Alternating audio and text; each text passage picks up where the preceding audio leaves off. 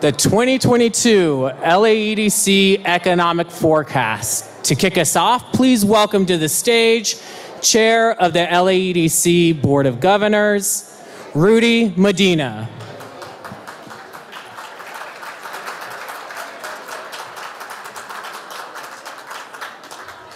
Good morning. Wow, everybody's quiet so quickly.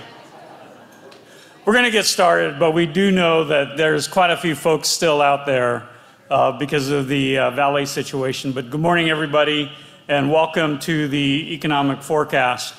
Uh, I would be remiss if I didn't start this meeting by saying congratulations to one of our members, the Super Bowl champion Los Angeles Rams.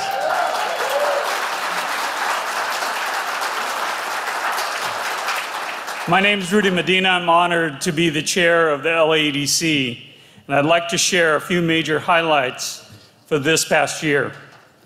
These highlights have resulted from the hard work of our dedicated team and the unique connections that the LAEDC has created between business, government, education, and community partners, essentially all of us that are here today. The LAEDC's mission is to reinvent our economy to collaboratively advance growth and prosperity for all. My work with the LAEDC since 2016 has been one of the most rewarding and important aspects of my career in banking. And I hope that you too will see the benefits of supporting this incredible organization. Just this year alone, the LAEDC reached a significant milestone. The LAEDC has attracted more than 250,000 jobs for the LA area residents through the direct technical assistance provided by its award winning Business Assistance Program.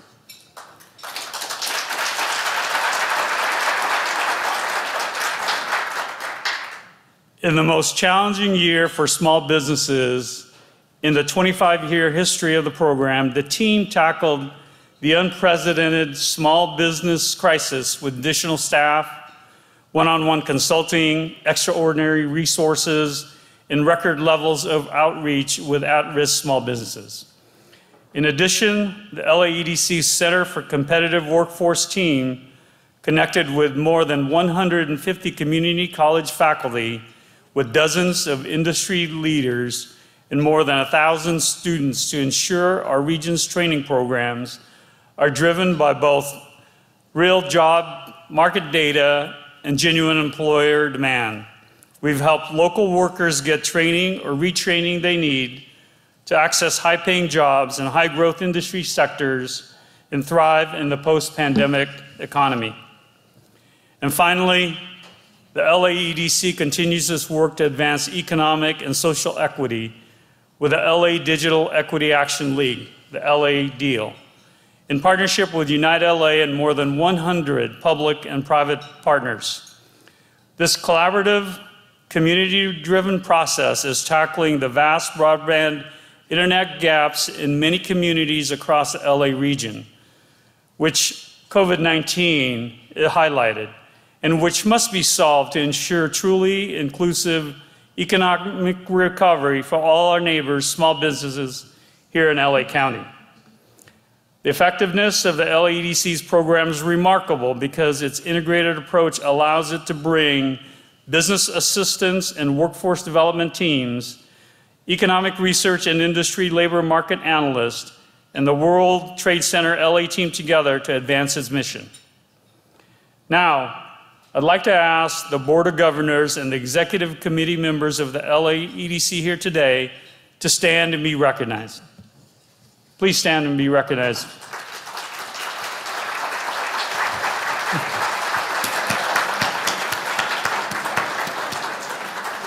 Thank you all for your support.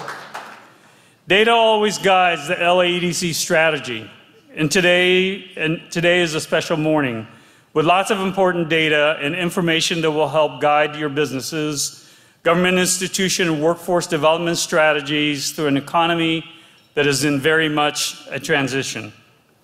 Now, to help advance the program, I'd like to welcome a tireless leader of our regional economy, uh, LAEDC's fearless leader, President and CEO, Bill Allen.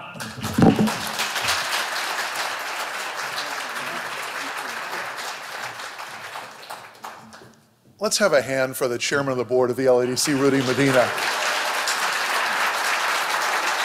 Rudy has given so generously of time uh, to me, to our staff, to our organization as chairman of our board, and he is a big part of our success. So thank you for stepping up and being the civic steward that you are. Welcome, everyone. It is so great to see you all here in person this morning. It's wonderful to be here together after months and months of convening by Zoom, supporting our local hotel and meeting and conference industry on their way back from this terrible pandemic. The fact that you chose this forecast over the rally for the Rams is amazing to me. We're so thrilled to have you here, and it's a sign that you're here hungry for information to help you make more informed decisions in the year ahead. To expand just briefly on Rudy's remarks, the LADC champions equitable economic growth for everyone here in Los Angeles County. Through our collaborations with community and government and business and education, we work to inform and advance our data driven and evidence based approach. Our endeavor is to achieve a reimagined economy for Los Angeles County, one that is more robust, one that is more equitable, one that is more sustainable, one that is more resilient, and one that really helps support a healthy and high standard of living for all of our 10 million neighbors here across the county. Our staff and members represent the diversity of this great county. We act as trusted conveners, thought leaders, valued service providers, regional stewards, and transformational change catalysts. Our data driven, research based approach is used to cultivate key industries and innovation ecosystems to retain and grow our micro enterprises, our small and large businesses, to attract investment from domestic and international enterprises, and to develop a competitive and inclusive regional workforce to both power this economy and benefit from this nation sized $700 billion Los Angeles County economy. As Rudy noted, this economy is very much in transition, with continued disruption and uncertainty ahead. And you'll hear quite a bit about that this morning. It's important that we understand the forces and trends at play, and that we seek to leverage them for our collective benefit as civic stewards, as government, business, education, and community leaders, as innovative and aspirational entrepreneurs, as labor market participants, as consumers, as investors. We hope that what we present to you today and the extraordinary speakers we've assembled for your benefit will shed important light on the many challenges and opportunities that lie ahead of us. With this information, we think we can all make more informed decisions in 2022 and help us advance that more robust, equitable, inclusive, and resilient economy for all. A forecast like this requires a lot of effort to put on, and it can't be done without the support of our sponsors. I just want to take a moment to thank these extraordinary civic stewards who make this sort of event and information possible for you this morning. I want to begin by recognizing our gold sponsor, Working Nation, and its visionary founder, Art Bilger, and its wonderful, incredible CEO, Jane Oates, who you'll hear from later this morning. I want to thank our silver sponsors, US Bank. Thank you again, Rudy Medina, for your support of this event as you support so much of the work of our mission the Los Angeles Regional Consortium of Community Colleges, our primary partners in workforce development, fueling the talent pipeline for this region's economy. And AWS, Amazon Web Services, whose California Cloud Computing Certificate Program is a shining example of the sort of industry driven career education that we seek so much more of across this region to enable our neighbors to participate in this extraordinary economy. We'd also like to thank our amazing array of bronze sponsors. You'll see their names and logos on the screen for their support of this event and their commitment to advancing our mission. Let's acknowledge all of our wonderful sponsors this morning. The LADC's annual economic forecasts are Southern California's premier source of economic information and insight into our future here in this region. We have a great program for you this morning, a wonderful keynote who will be visiting us virtually, but I think you'll really enjoy her presentation. Julia Coronado, president and founder of Macro Policy Perspectives, and you'll hear from our very own director of our Institute for Applied Economics, Shannon Sedgwick, with our regional forecast, which is always highly anticipated. You'll then get the opportunity to attend one of three breakout sessions. I wish we could have you attend all of them. They're just going to be extraordinary. We have chosen them because each of them is a critical lever for achieving the sort of inclusive economic recovery and long term prosperity that we seek. They'll be on innovation, they'll be on infrastructure, they'll be on housing.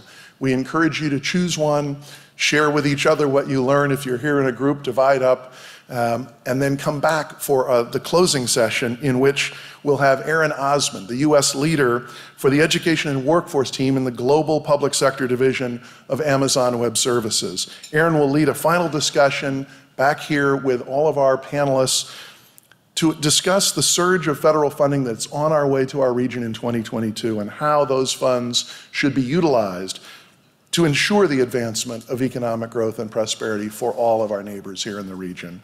Uh, once again, we are incredibly fortunate to have with us the voice of business news in Los Angeles as our MC, uh, our dear friend Frank Motek, who uh, has a wonderful program called Motek on Money on 790 ABC every evening at 6 o'clock. We had the opportunity to be on it last week to uh, forecast a little bit of what today would be like. I think he has another session planned tonight with Shannon. He's always so good about covering this regional economy and helping us spread the word of the LADC. He's been with us more than a decade moderating this program.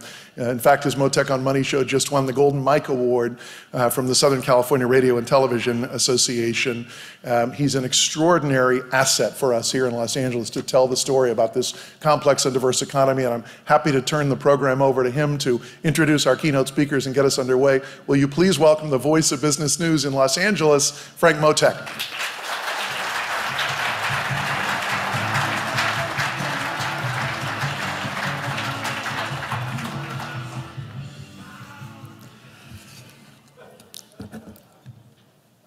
Good morning.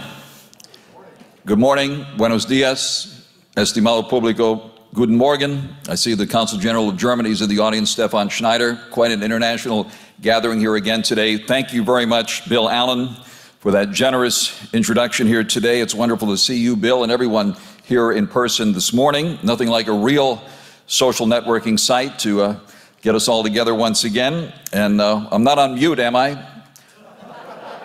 Can everybody hear me? Okay, thank you for that. Bill, thank you very much for bringing us together for this important occasion once again, and thank you for your tremendous leadership during the most dramatic and difficult times we've ever seen. Let's have a huge round of applause for Bill Allen, President and CEO of the LAEDC. Now the recovery is on, as Rudy Medina mentioned, and we're off to a Following a stellar weekend for the LA economy, by the way, which uh, we talked about, Bill, on the air the other day, uh, heading up to the Rams winning the Super Bowl and that big parade coming right down the street here pretty soon. So we're getting ready for that. We'll probably be able to cheer them on. Uh, it was awesome to see the hotels and restaurants packed over the weekend, a lot of energy in town over the weekend. And gosh, uh, Shaquille O'Neal walking around Beverly Hills, can't miss him, of course at Spago and uh, all the great uh, parties and even saw Kato Kaelin at a party. So things are starting to get back to normal here uh, in Los Angeles on the, the social scene. Elated to see that. Now, on the economy today, and I'm sure we'll be uh, covering this tonight, retail sales jumped 3.8% as the economy perked up in the face of the highest inflation in 40 years. The notes from the Fed's last policy setting meeting will be coming out uh, later this morning. Financial markets, of course, uh, watching the serious situation in Eastern Europe along the Russia Ukraine border. Russia says it's drawing down troops, but NATO says it's actually continuing its military buildups. We're watching the situation there very closely. We do see oil up again this morning, back above $94 a barrel, a seven year high. LA gas prices, in case you hadn't noticed, at all time highs again. And uh, we're watching that very closely and paying the price. The Dow down 200 right now, Nasdaq down 130, and the S&P 500 down 28. And now the weather, mostly sunny today, with a high up around 66, low tonight 45. We're showing 50 right now here in downtown Los Angeles. And now on to the forecast. You've all uh, come to hear this morning an important forecast, which I know many of you use to plan uh, your year. First, I invite all of you to take a look at the printed one pager you received this morning. You'll notice a QR code on the bottom left corner. You can hold your cell phone's camera at that code and you'll get immediate access to today's program, speaker bios, and the full economic forecast report. Because all of us love the environment and support our green initiatives, we only have the reports available for you digitally. We also invite you to join the conversation on social media this morning. You can follow us at the handle at LAEDC and also hashtag LA Economy. Of course, remember in the olden days, they said, oh, put your cell phones away, you know, but it, in fact, we want to encourage just the opposite. Go ahead and take them out, take plenty of pictures, and of course, uh, use those hashtags and uh, that handle at LAEDC.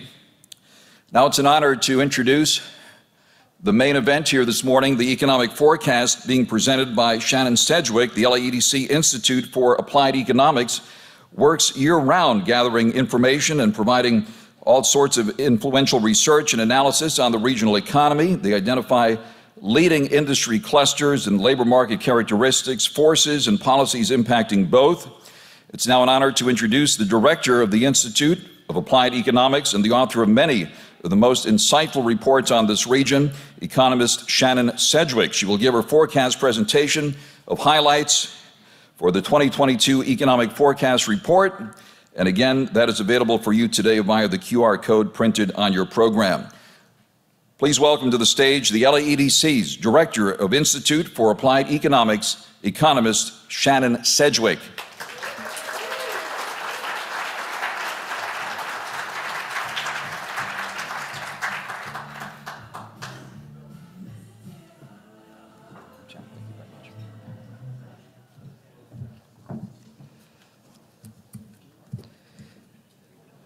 Good morning, everyone. I hope you're all staying safe and healthy in the new year.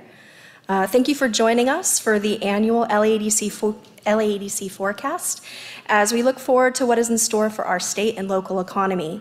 Uh, this time last year, we highlighted how COVID 19 had increased the severity of pre existing challenges um, and inequalities that were present in our region and beyond. Uh, while pre existing inequity and the disparate effects of the pandemic make an inclusive recovery a necessity uh, for more for more equitable growth in the long term. With the ongoing pandemic, it's really too soon to tell how successful some of these efforts taken to reach this goal have been.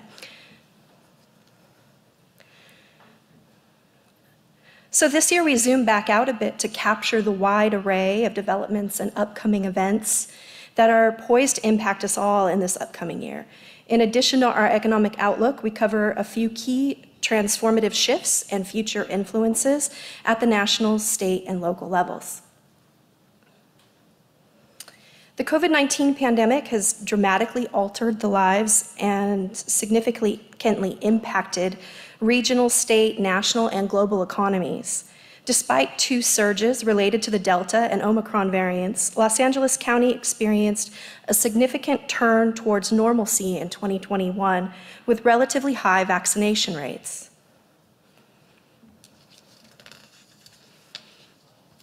The labor market was negatively impacted by the pandemic in 2020, but made an impressive recovery in 2021 with the year being characterized by expansionary fiscal and monetary policy, increasing vaccination numbers, and the lifting of pandemic related restrictions. However, employment is still below the pre pandemic level. Additionally, the sudden and the significant decline in the labor force participation rate during the pandemic has been slow to recover. Uh, it'll be a key metric to watch going forward. If workers do not fully return to the labor force in the coming years, the economy will have to make significant adjustments in response to the new labor picture. One of the potential clouds we identified in last year's forecast, inflation, has been taking center stage lately. The federal government enacted demand stimulating combined fiscal and monetary policy throughout the COVID 19 pandemic in an attempt to support economic recovery. However, these expansionary macroeconomic policies have been principal causes of significant recent price inflation. The inflation rate rose to 7% in 2021, representing the highest inflation rate since 1982. The rise in energy prices, specifically gasoline, is leading the increase, but food and shelter are up significantly too. There are two main contributors to rising price levels. We're experiencing a positive demand shock and a negative supply shock. A significant portion of households found themselves with increased household income related to changed spending habits, stimulus payments, and expanded unemployment benefits, which boosted their demand for goods, applying upward pressure on prices. At the same time, supply chains have been failing, falling short of meeting this increased demand, which also applies upward pressure on the general price level. While inflation impacts the entire economy, low income individuals are often particularly negatively affected by rapidly rising prices. Higher rates of inflation reduce wages in real terms for all earners, but disproportionately impacts lower income households who have less disposable income. With a higher percentage of their income spent on necessities, these households cannot offset rising prices by shifting discretionary spending like higher income households are able to do. Looking ahead, we expect a tightening of monetary policy. Uh, federal funds rate, rate hikes are on the table to ease rising inflation concerns. Now let's dive into our economic outlook for California through 2023. California had some of the strictest coronavirus regulations in the nation, which heavily impacted economic growth in 2020. Real GDP growth dropped by 2.8% in 2020. And with the lifting of restrictions, uh, the LADC anticipates growth to reach 6.7 in 2021. Moderate but still fairly strong growth is projected for this year, with real GDP growth forecast, forecasted at 4.2% for 2022 and 2.7% the following year.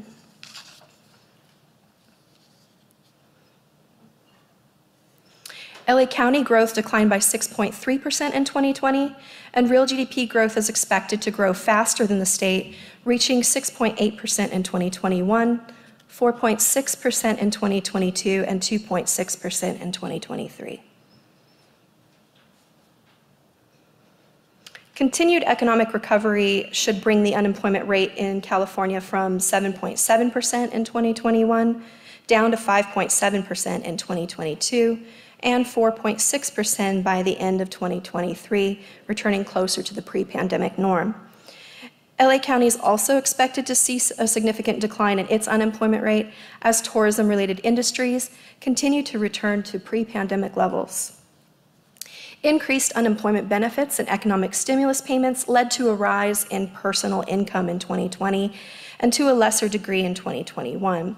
We anticipate a decline in 2022 as these payments have concluded. In subsequent years, personal income will rise once again as the California and Los Angeles economy continue their recovery.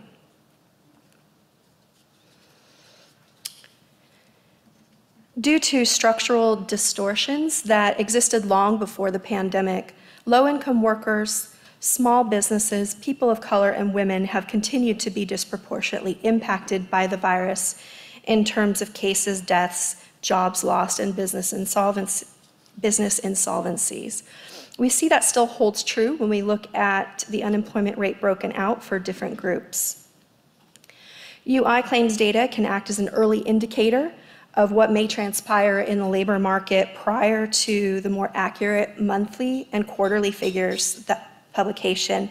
Here we see that initial UI claims in California have moved closer to pre-pandemic levels, hinting at a continued recovery in the near term. In 2020, California mirrored the national employment experience with service sectors being hardest hit in terms of employment. In general, those hardest hit industries recovered the greatest number of jobs in 2021. Looking ahead, all industries are projected to expand over the next two years in the state, with professional and business services leading the way as people return to office settings, leisure and hospitality falling behind second, um, as people return to pre pandemic activity in terms of tourism and entertainment and trade, transportation, and utilities, rounding out the third top contributor uh, to future employment growth as uh, investment in infrastructure starts to come online.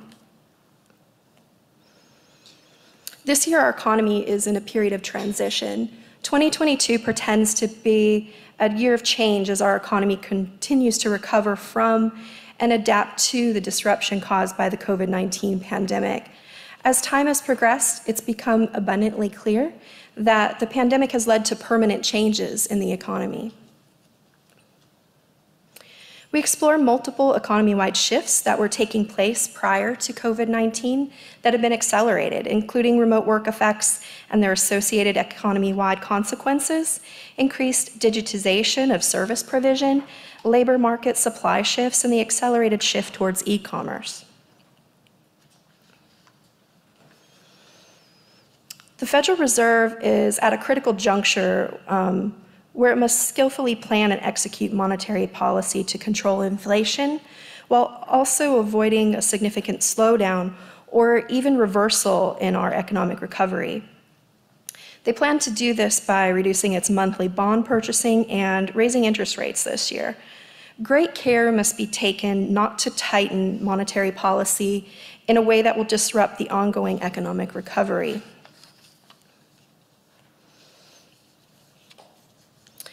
Remote work has allowed many businesses to stay open throughout the pandemic. While initially considered by many to be a temporary measure, remote work is here to stay in one form or another. Uh, a recent survey finds that only 23% of workers want to uh, go back to the full time office environment, with older white males being well represented in that group. Women and people of color report a preference for remote work and comprise a larger share of the 45% of workers who want a hybrid schedule and the 32% that don't want to return to the office at all. And what have workers been doing with the extra time while they're not commuting to their job? Well, 40% of that extra time has been spent doing extra work. A recent study found that around 59 million US workers performed freelance work in 2021. That equates uh, to approximately 36% of the US labor force. The share of the labor force categorized as non temporary freelance has um, increased as high skill workers are leaving their conventional full time work uh, for flexible employment alternatives. Remote work was cited as the top reason for entering the freelance workforce, being mentioned by around 54% of new entrants. Freelance work is expected to keep growing over time. Around 56% of non freelance employees that were surveyed in the study answered that they are likely to freelance in the future. Increased digitization in the provision of services during the COVID 19 pandemic will likely result in permanent changes in how certain services are provided, along with associated cost and labor market implications. The COVID 19 pandemic has accelerated the pre pandemic shift towards e commerce and away from brick and mortar establishments. Small businesses may find creating or expanding an online presence to be necessary in the new e commerce age. We also identify shifts and upcoming influences that are specific to California and Los Angeles County. Housing affordability and availability issues, combined with negative economic effects of COVID 19, encouraged a record setting number of California residents to seek alternative, more affordable places to live during the pandemic. California has been losing uh, relatively low and middle income residents to other states while gaining relatively high income residents from other jurisdictions. However, high income residents, they're leaving too. Uh, compared to other California counties, from July 2020 to July of 2021, Los Angeles County experienced the greatest fall in overall population, followed by the nine county San Francisco Bay. In 2022, California will become the first U.S. state to mandate a $15 minimum wage for businesses with over 25 employees. Increasing the minimum wage will raise the hourly wages paid to employees who currently earn less than the proposed minimum wage and who retain their positions. What happens next is more uncertain and depends on the behavioral responses of all economic actors in the region, including employers, employees, and non working job seekers, and how these in turn generate downstream impacts. Parts of the state with higher concentrations of low skilled employees will likely experience the more pronounced effects. The pandemic has served to accelerate the number of business uh, headquarters leaving California for other states.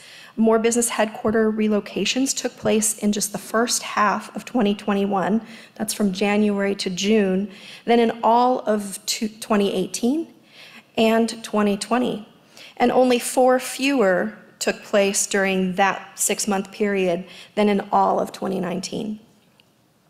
Surveyed business executives cited high cost of housing and real estate and the high cost of doing business as primary reasons for not locating, not expanding, or for leaving California.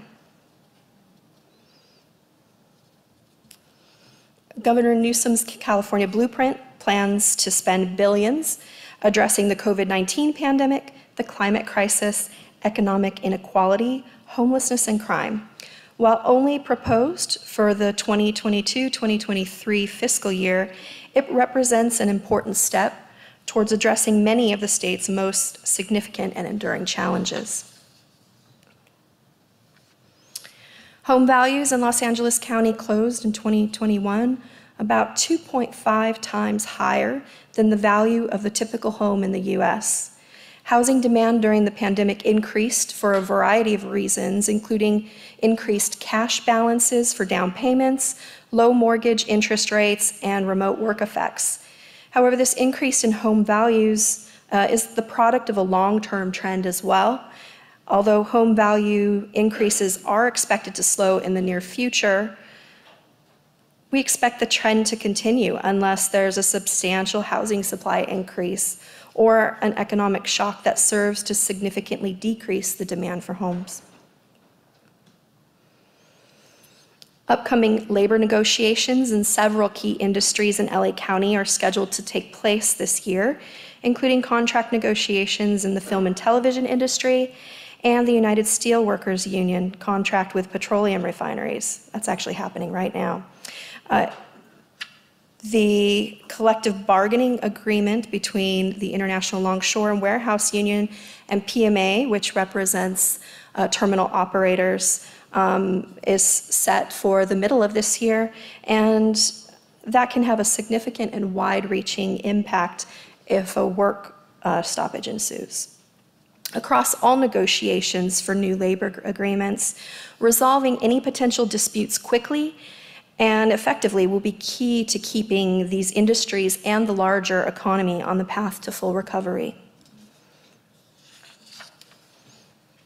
And last but not least, the COVID 19 pandemic laid bare how differences in access to internet, affordability of internet, device ownership, and digital literacy, a group of concepts known as the digital divide, put up barriers to schooling, working from home, attending telehealth appointments, and many other facets of life.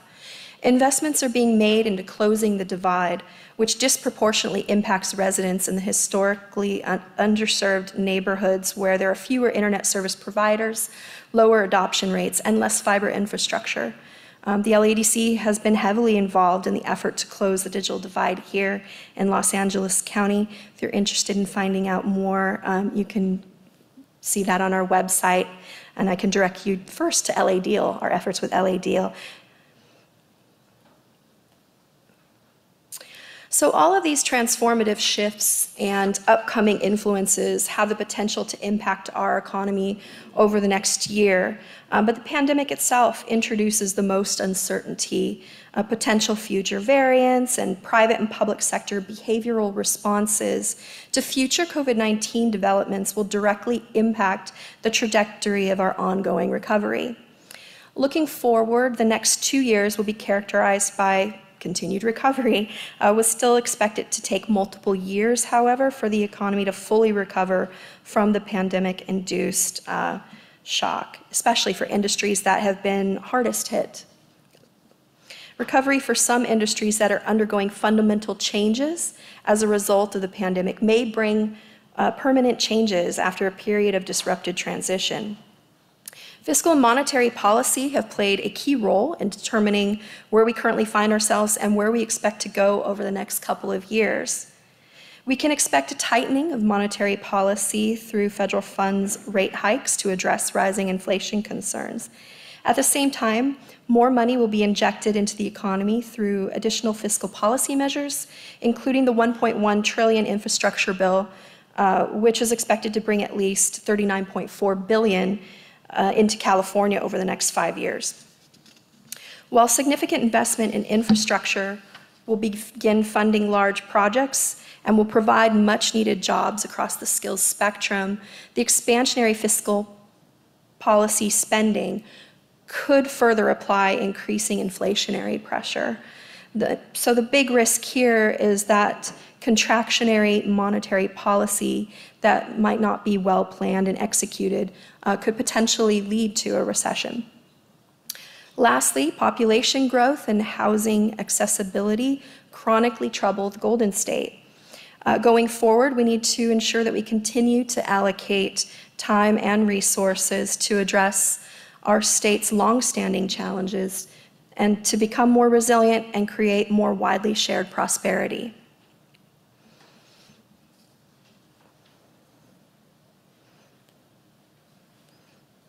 I want to thank you for your time this morning.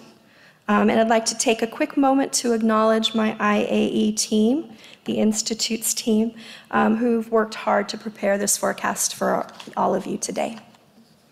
Thank you.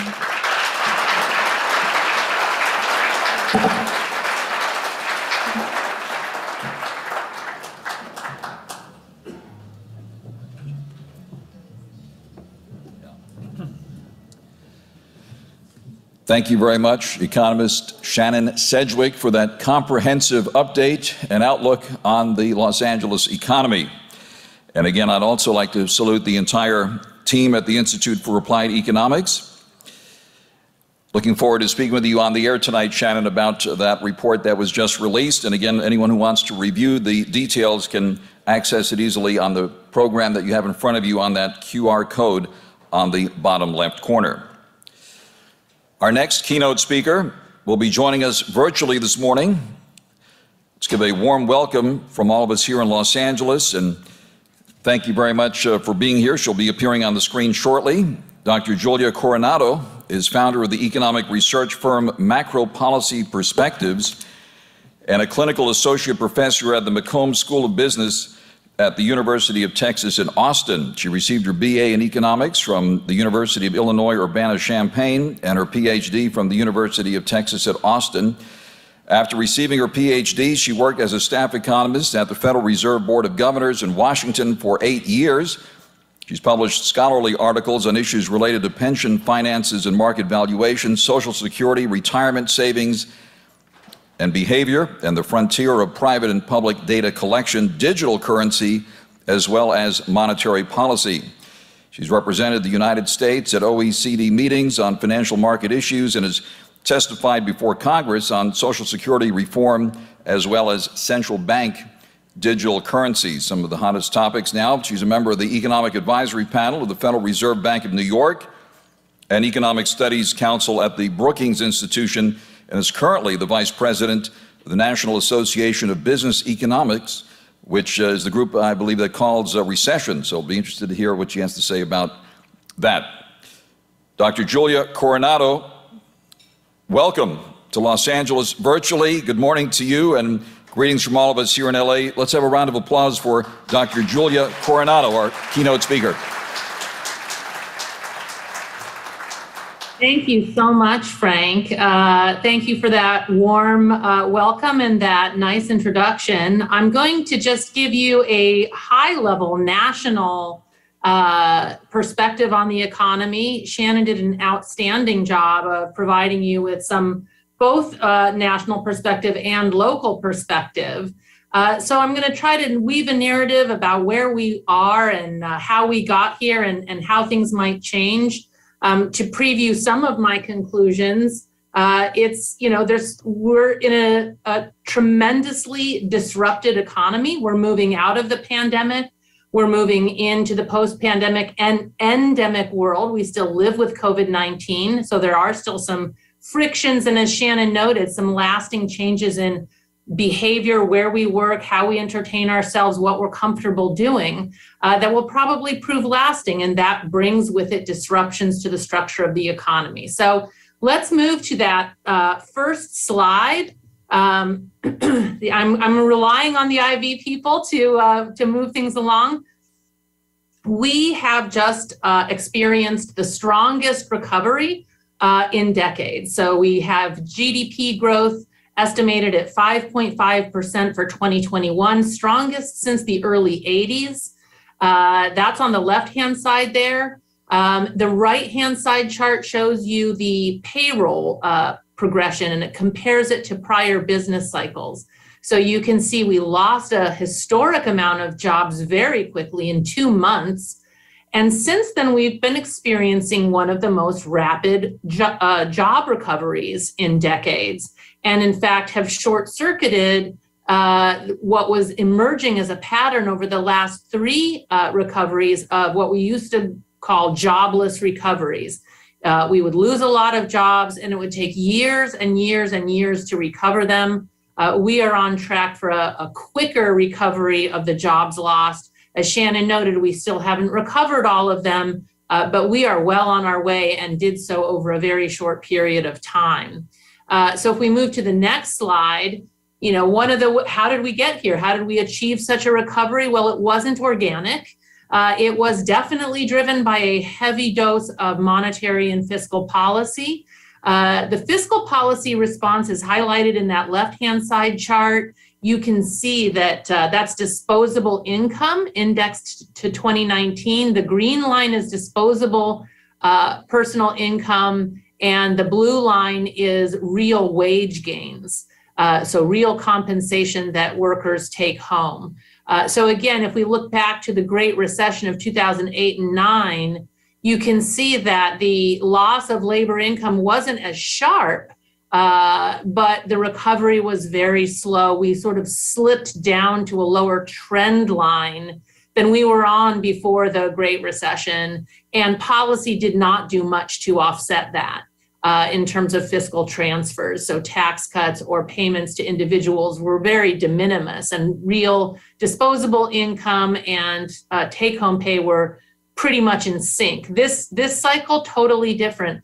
That it's hard to understate the significance of that green line during this current uh, uh episode.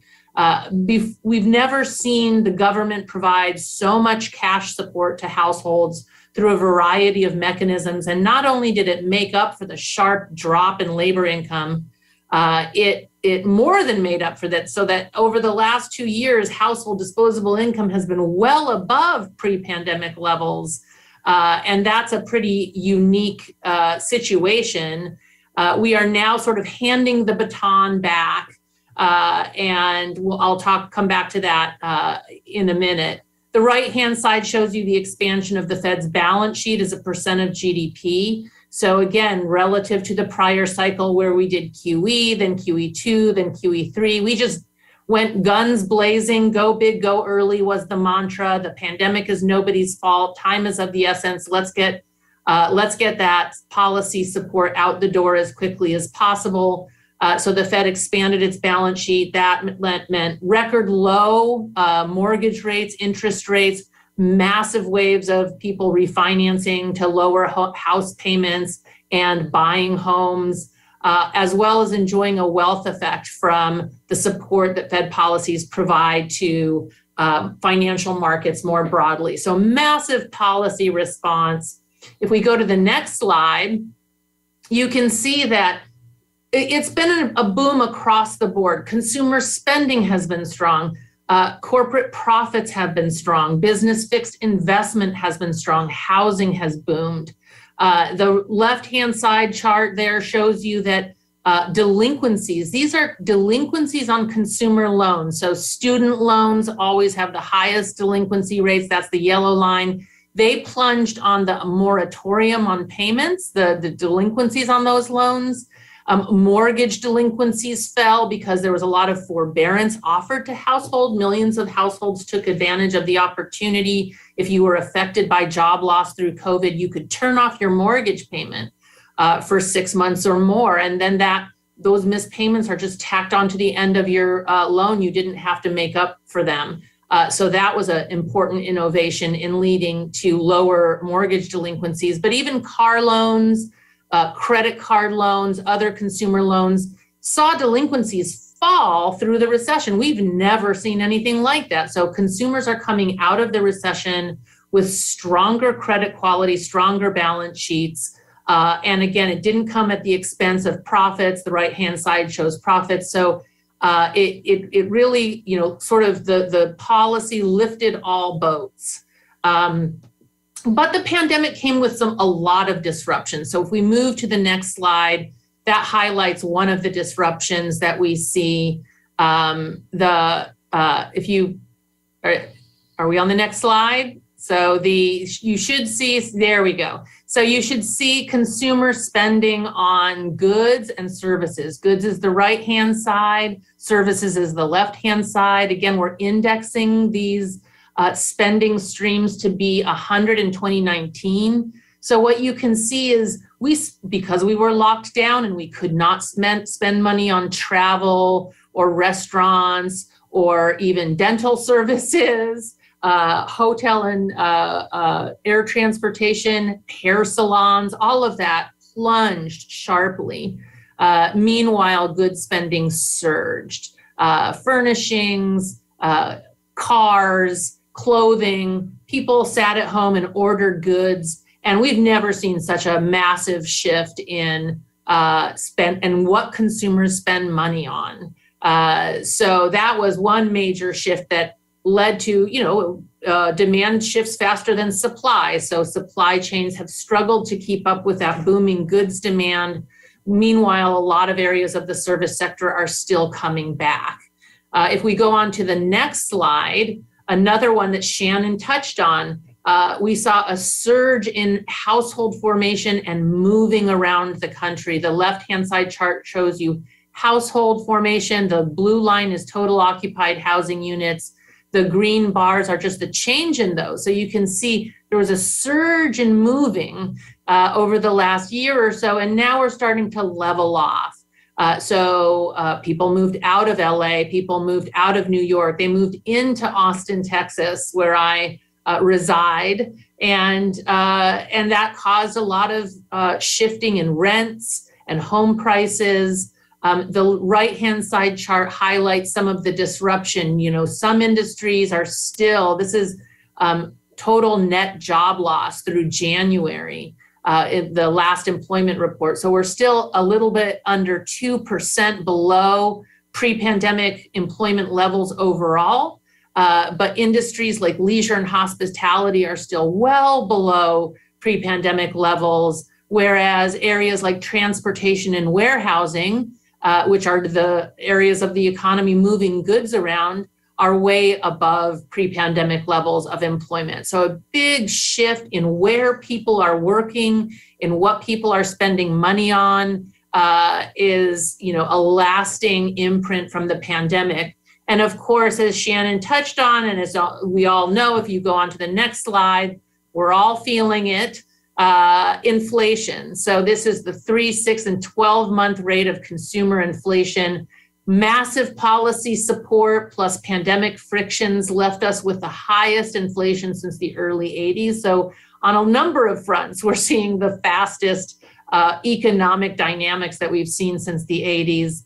Um, and so, you know, that's that's the question. Where it's it's broad based. It's started in goods. Uh, it has spread to services uh, what is going to wh- where do we go from here uh, is are we can we navigate to a soft landing for the us economy that's of course the policymakers goals and if we look on the next slide what we can see is that fiscal policy is actually set to be quite contractionary relative to 2021. Yes, we do have an infrastructure bill. That's money that's going to be spent over the next 10 years. So there will be allocations, but actually spending that money on longer term infrastructure projects is something that takes quite a bit of time. Meanwhile, that transfer income has gone away entirely. So the child tax credit expired. Last one was in December. Um, some people will get some nice tax returns based on the catch up of that. But going forward, no more stimulus payments, no more child tax credits. Uh, so uh, the relative, the boost to uh, disposable income is gone. And so consumers now fall back to spending what they earn out of labor income. The left hand side highlights that direct federal spending is projected by the Congressional Budget Office to decline 20%. Um, so this is the, the, the dilemma for forecasters. Households have accumulated a lot of savings on their balance sheets. Their balance sheets are very strong, but their disposable income is actually going to be flat to down, even in a strong labor market, just because all of that transfer income goes away. Uh, so uh, the right hand side shows you model calibrations of the fiscal impulse. So whereas it added up to four or five percent of GDP in the last couple of years, it's set to subtract two to three percent of GDP. We don't expect a hard landing because of it, because so much of it has been saved.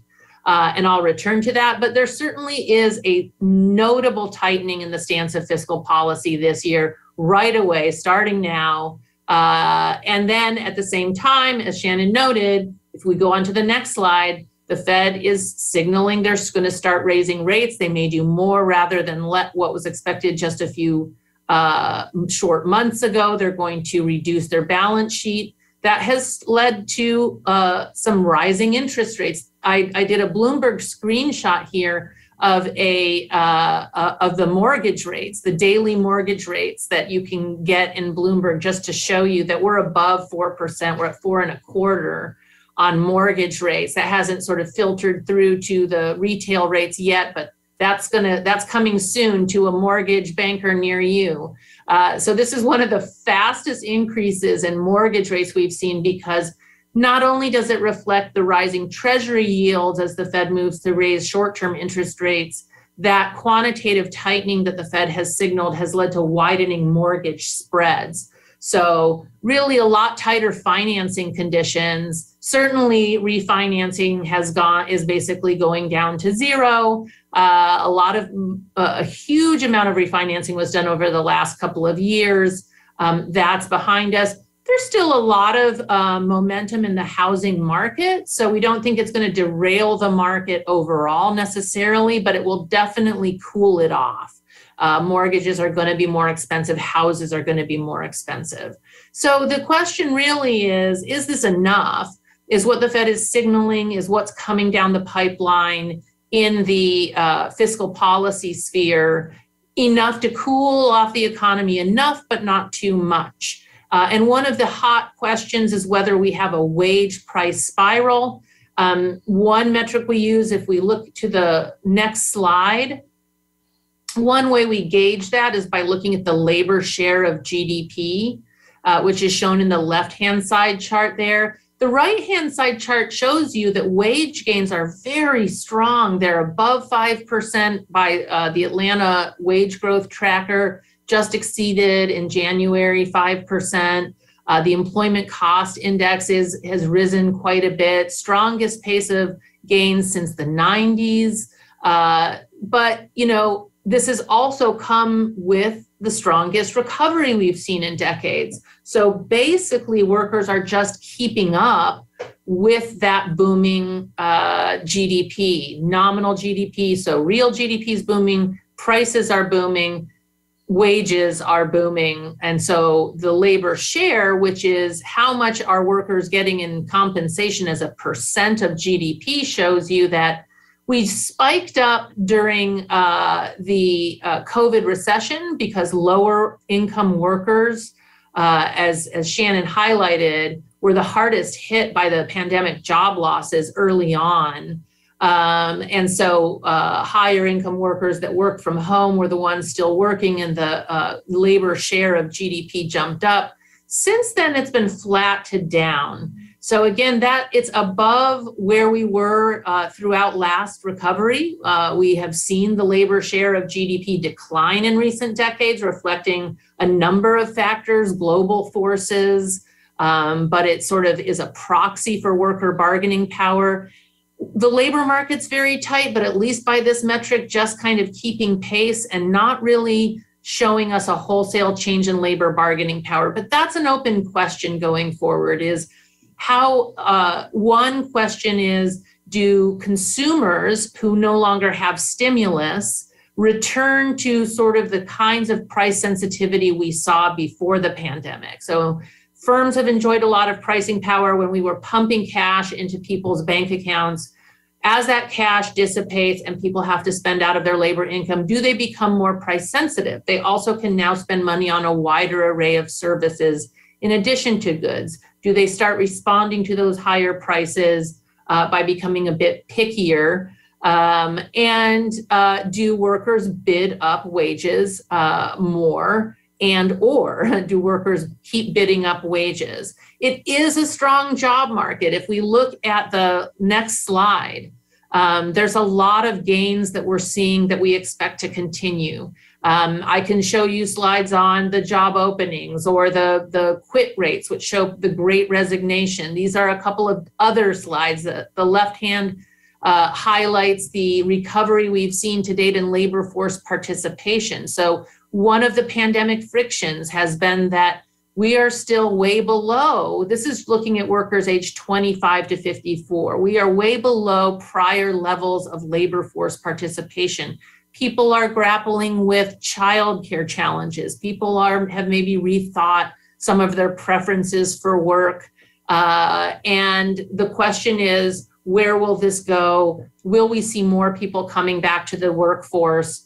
Uh, will that ease uh, some of the supply demand imbalance uh, in the labor market? And we are seeing a nice, robust rebound in labor force participation. We certainly expect that to continue. Once that gets going in a recovery, it tends to keep going. So we think there's a lot of further gains we can see this year, especially uh, with pandemic concerns ebbing and offices reopening. We expect to see more recovery there the right hand side shows you one of the more impressive features of the labor market. It, this is the number of people working part time but wanting full time work. So that was one of the massive dimensions of underemployment in the last, uh, in the Great Recession and the recovery. It took so long. There were so many people living with the precarity of part time work, wanting the security of a full time job, not being able to get it. Um, we went have gone now well below pre-pandemic lows. Uh, we, there's every reason to expect this is workers who are engaged in the workforce. They are still participating, but they want these full time. They want full time work. They're going to get it. Uh, they're getting it. They can continue to command that uh, restructuring from employers who maybe got a little bit used to uh, part-time workers so that they could lower their working their wage bill. Um, that's one area where we do see some uh, increased bargaining power for workers. If you want a full-time job, increasingly you are able to get it. That's the fastest recovery in that dimension. Uh, you know, it deteriorated hugely during the pandemic, and and now it's coming roaring back. So very strong labor market. Uh, but you know, there's a tension this year between uh, firms facing still disrupted supply chains, higher input costs, and workers facing those higher prices and maybe wanting more compensation. So, um, will we see some easing in those supply chain frictions? We do see some improvement. We expect that to continue throughout the year. Better labor supply dynamics, uh, alongside some cooling in demand because fiscal policy is tightening, because monetary policy is tightening. Um, all of that should serve to cool inflation pressures, um, leaving us uh, with still, I would say, optimism for the possibility of a soft landing. Um, because you know, while we've got this policy tightening, we've got a few tailwinds. We still have pent up demand for cars that uh, will, you know, continue to be a support to spending through the year as car production catches up. Um, uh, there's a, a, record number of weddings being scheduled for this year, uh, pent up weddings that did not occur during the pandemic. That's a lot of spending that comes with those. Restocking of inventories, which have gotten very lean uh, because of the supply chain frictions, catching up on home building. All of these are tailwinds that should support gro- growth even as policy tightens up. Uh, so, with that, I will uh, wrap it up with just the conclusion. It's still a highly disrupted economy. Uh, a lot of people still feeling their way for what is a sustainable business model in the new world. What will consumer preferences be? And the outlook is highly uncertain. So, uh, we all need to stay on our toes, but um, we should see a pretty decent performance and real growth despite all of these disruptions uh, in 2022. So I will stop there and hand it back to Frank.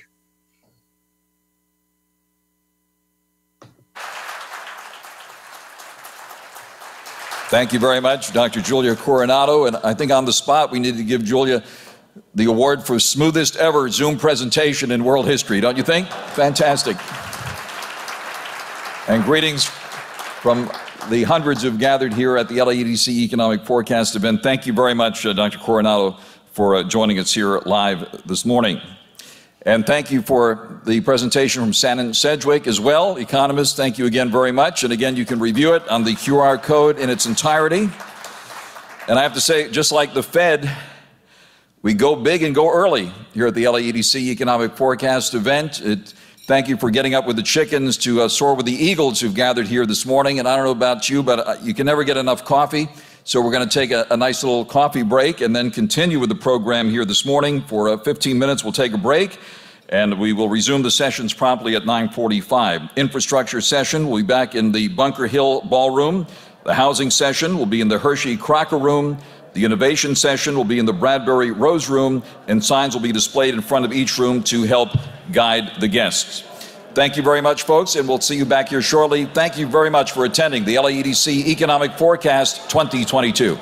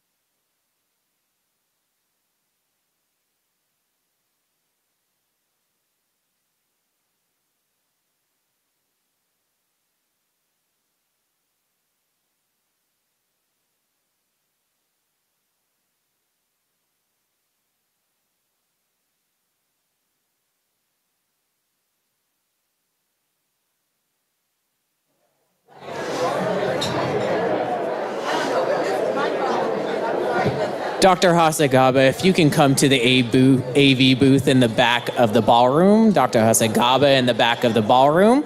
Also, please make your way to your respective breakouts. Those will be starting at 9:50 a.m. sharp. So if you're going to housing or innovation, it will not be in here. It will be in one of the other two rooms. You can ask folks at registration to help direct you.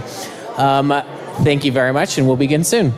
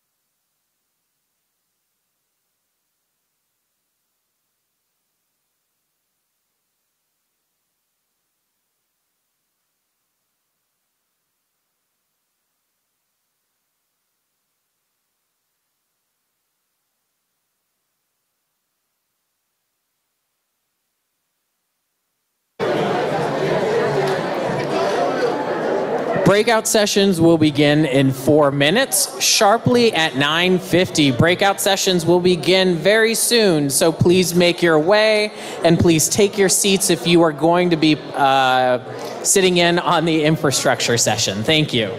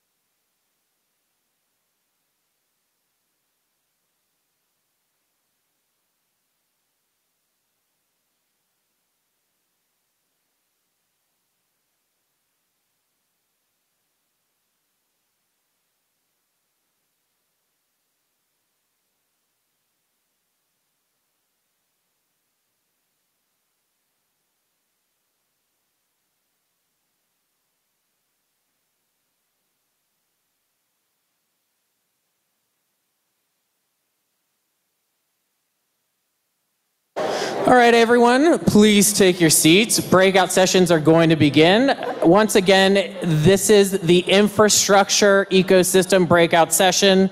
Please take your seats. Please make your way to the front of the room as well for this particular session. We can reconfigure afterwards. If you're going to housing or innovation, uh, please make your way into the foyer and all the way down the halls. You'll find those sessions. All right, and please let's quiet down as we begin. I'm going to pass the mic on over, on over to the Executive Director of the Southern California Association of Governments, Kome Ajise.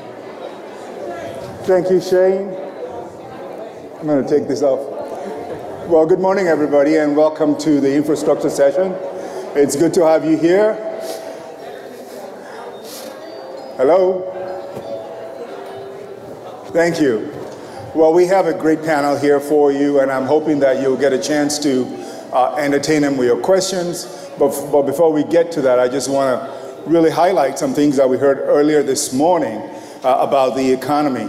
Uh, we felt like, you know, at SCAG, we felt like the same, uh, the same sense of recovery is, is at play. The economy is strong, it's coming back really strong. Uh, there are areas of weakness, obviously, with our housing crisis and also with the pandemic. However, we have this very uh, fortunate sense of, of uh, opportunity that we have with infrastructure funding.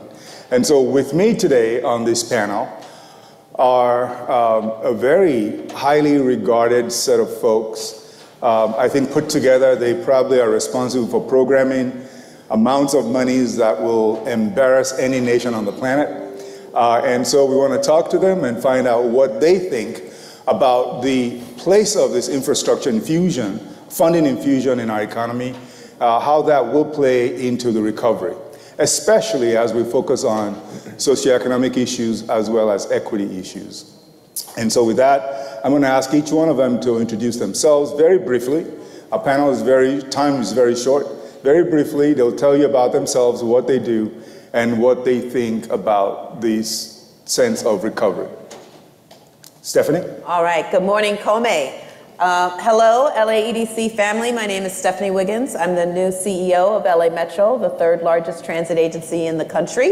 Um, I, I, do feel like we have a golden opportunity with both the, um, the historic infrastructure law as well as the state surplus. So I look forward to the dialogue with my fellow panelists this morning.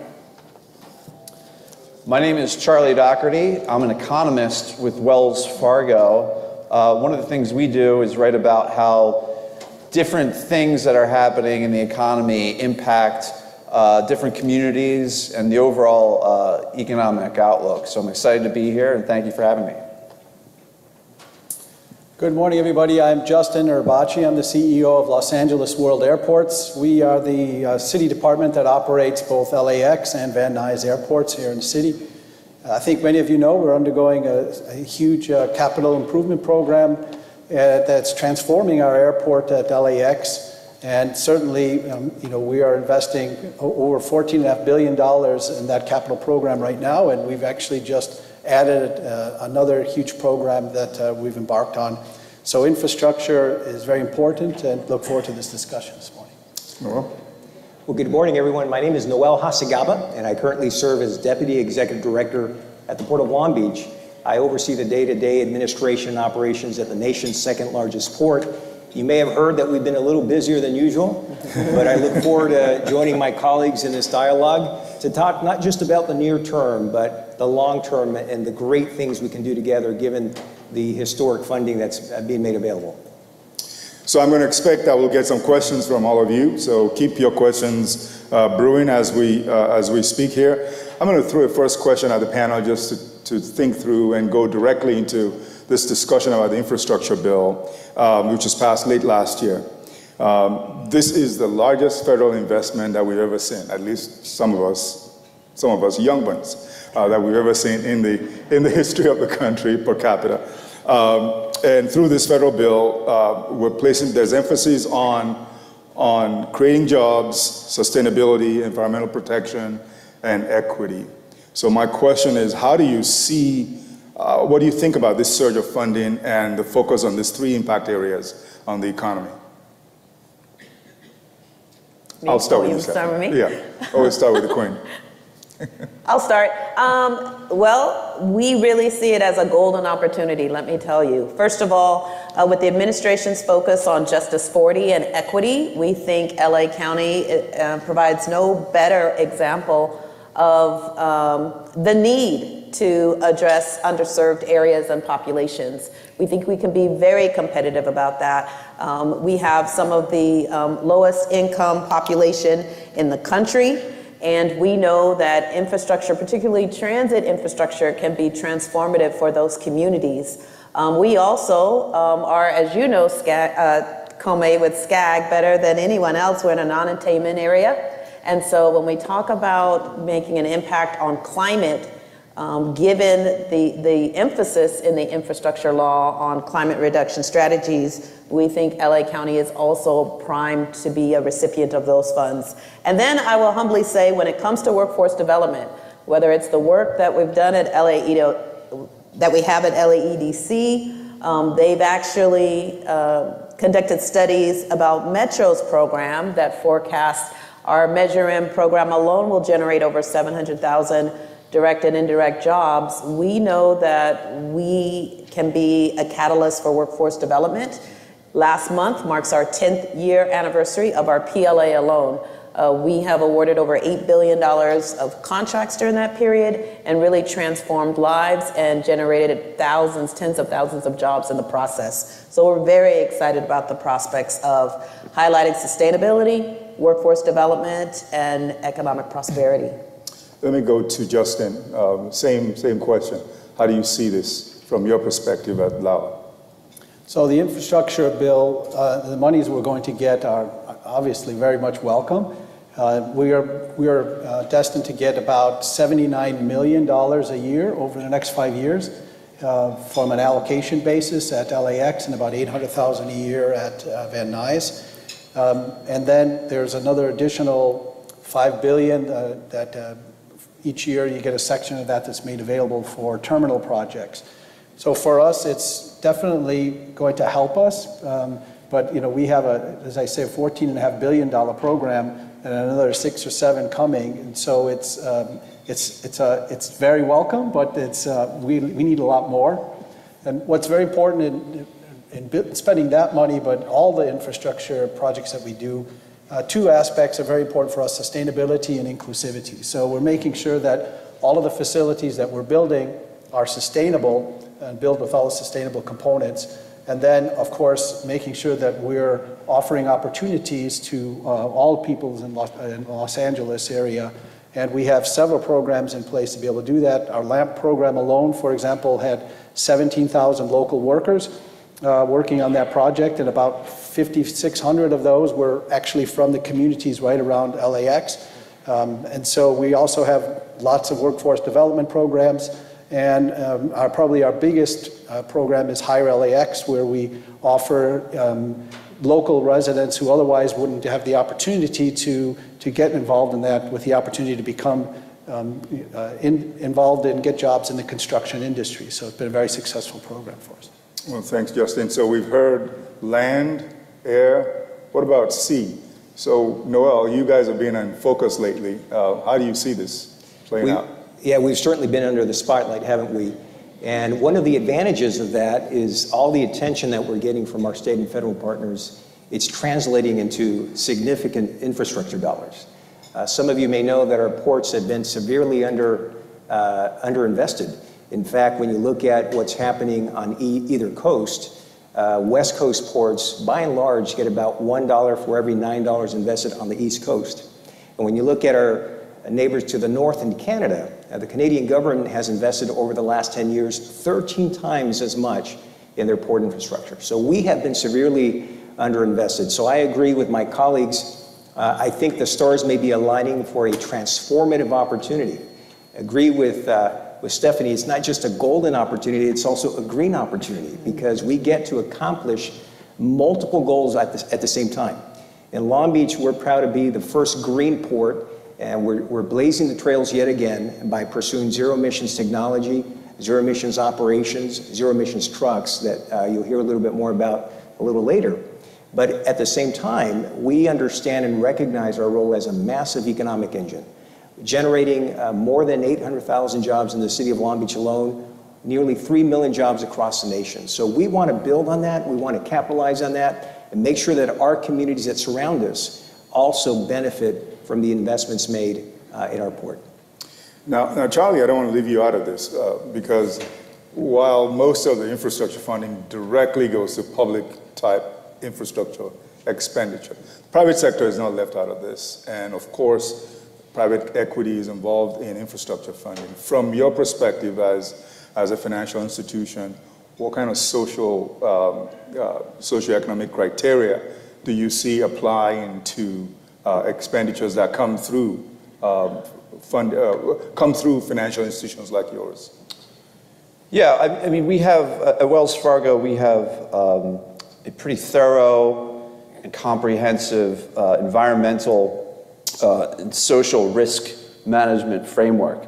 Uh, and what that basically entails is doing uh, extra layers of due diligence when it comes to uh, financing different sorts of projects. Um, so what I can tell you is um, environmental and social principles have, uh, have risen and I think are, are very important uh, to Wells Fargo, um, you know, not even recently, but over the past 10 or so years. So it's something that we're paying um, a lot of attention to. But overall, what I think this infrastructure bill means uh, for the overall economy, and we heard a little bit about this in the previous presentations uh, with Julie and Shannon, um, this is a, a, meaningful, meaningful economic uh, impact because you know we're going to see the fiscal support that we've seen over the past two years roll off. The monetary situation is tightening, and the infrastructure bill represents a very positive long-term economic plus. Um, and that goes especially for you know Los Angeles because Los Angeles, if we're being honest, has been disproportionately impacted by the pandemic. Um, as a result, it's been um, a little bit slower in its recovery, and I think this massive amounts of spending, not just in the near term, but over the next 10 years, is going to be an extremely positive economic force. Well, thank you. Um, if you have any questions, let me know. Um, we'll, we'll take your questions. But as we, uh, there's a mic Okay, there you go, Shane. Thanks. There's a mic going around. But if you, maybe we should take a moment, and each one of, especially the public entities here, if you could highlight a project, uh, if you could use a project, this is a curveball, right?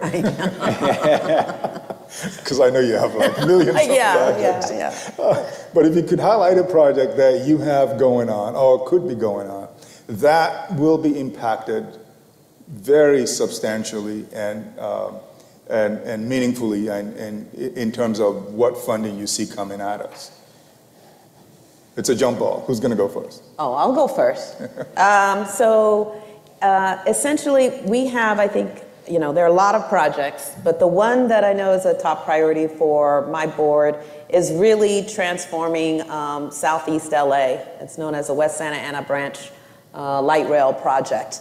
And it's more than a, a, a light rail project. Um, this community, the communities along this alignment, um, have densities of employment and po- population uh, five times higher than the LA County average.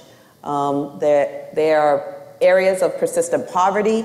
Um, we have um, a little bit of goods movement uh, along a portion of that alignment. So we um, actually work with the ports and Union Pacific along a portion of that corridor. And um, along that alignment, which is primarily manufacturing, it's going, undergoing a quiet evolution and really looking at transforming to high technology types of uh, jobs. And so, with a significant investment from the federal government, from this infrastructure law, we really think um, that coupled with contributions from the state uh, we can really transform that area for the better. Um, this is an underserved community, which is again top criteria for Justice 40. And when we talk about climate, this is an area where it has poor air quality. Um, we can transform that area for clean air, reduce greenhouse gas emissions with a significant investment for the federal government.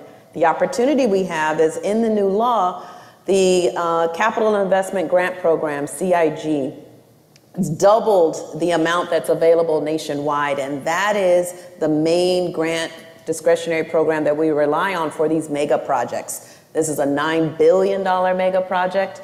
With local sales tax, we've identified about 3 billion. So we really see this infrastructure program as the way to transform this community, just like Shannon um, shared earlier, the difference um, these types of transformative investments can make in stimulating a, a local economy for the short and long run. Okay, and, and you said broadband was also an element of this? Well, broadband was mine. Yes, broadband will, will be an element as well. Yeah, absolutely. All right. Justin? So um, obviously, we have a lot of programs going on right now t- that are transforming, uh, transforming our, our airport, especially LAX. Uh, the most impactful project that we're doing right now has got to be our landside access modernization project, which involves uh, the implementation of a, uh, an automated people mover train that is going to um, go about two and a quarter miles from the central terminal area where all the terminals are all the way out to the consolidated, the new consolidated rental car facility that we're developing as part of this project.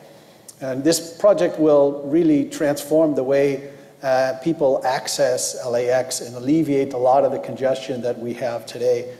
And, and also, of course, the, most importantly, it's going to finally connect the airport with Metro so people can now take public transportation all the way to um, the airport, and rail all the way into the, uh, into the airport from anywhere in the city. So it's probably the most impactful project that we're working on right now. It's a great project. Noel? Well, first of all, as a frequent traveler, excited about the project at LAX. You know, Kome, your question, you know, pick one project, and we all have many, right? It's like asking me, pick your favorite child. You know, we, we, we love them all, but if there was one that That's I, what we always say. That's right. we love them all the same, but if there was Yeah. one that one project that I would use to highlight, it's our Pier B On-Dock Rail Support Facility. It's a very complex project, and basically what it does for us at the port is it enables us to move more containers directly off the ship onto a train into the hinterland, thereby avoiding uh, truck traffic. And what's exciting about this project, which comes with a price tag of about $1.55 billion, is that this project by itself will more than quadruple uh, the number of rail tracks at the port. That translates into about 7.3 million trucks that will be replaced, right? Lessening the burden on our inland infrastructure. Uh, our customers love it because it's more efficient, it's faster. Uh, our communities love it because it'll be greener, more sustainable. Think of all the trucks that will be removed from, uh, from the streets. But it's a very complex project.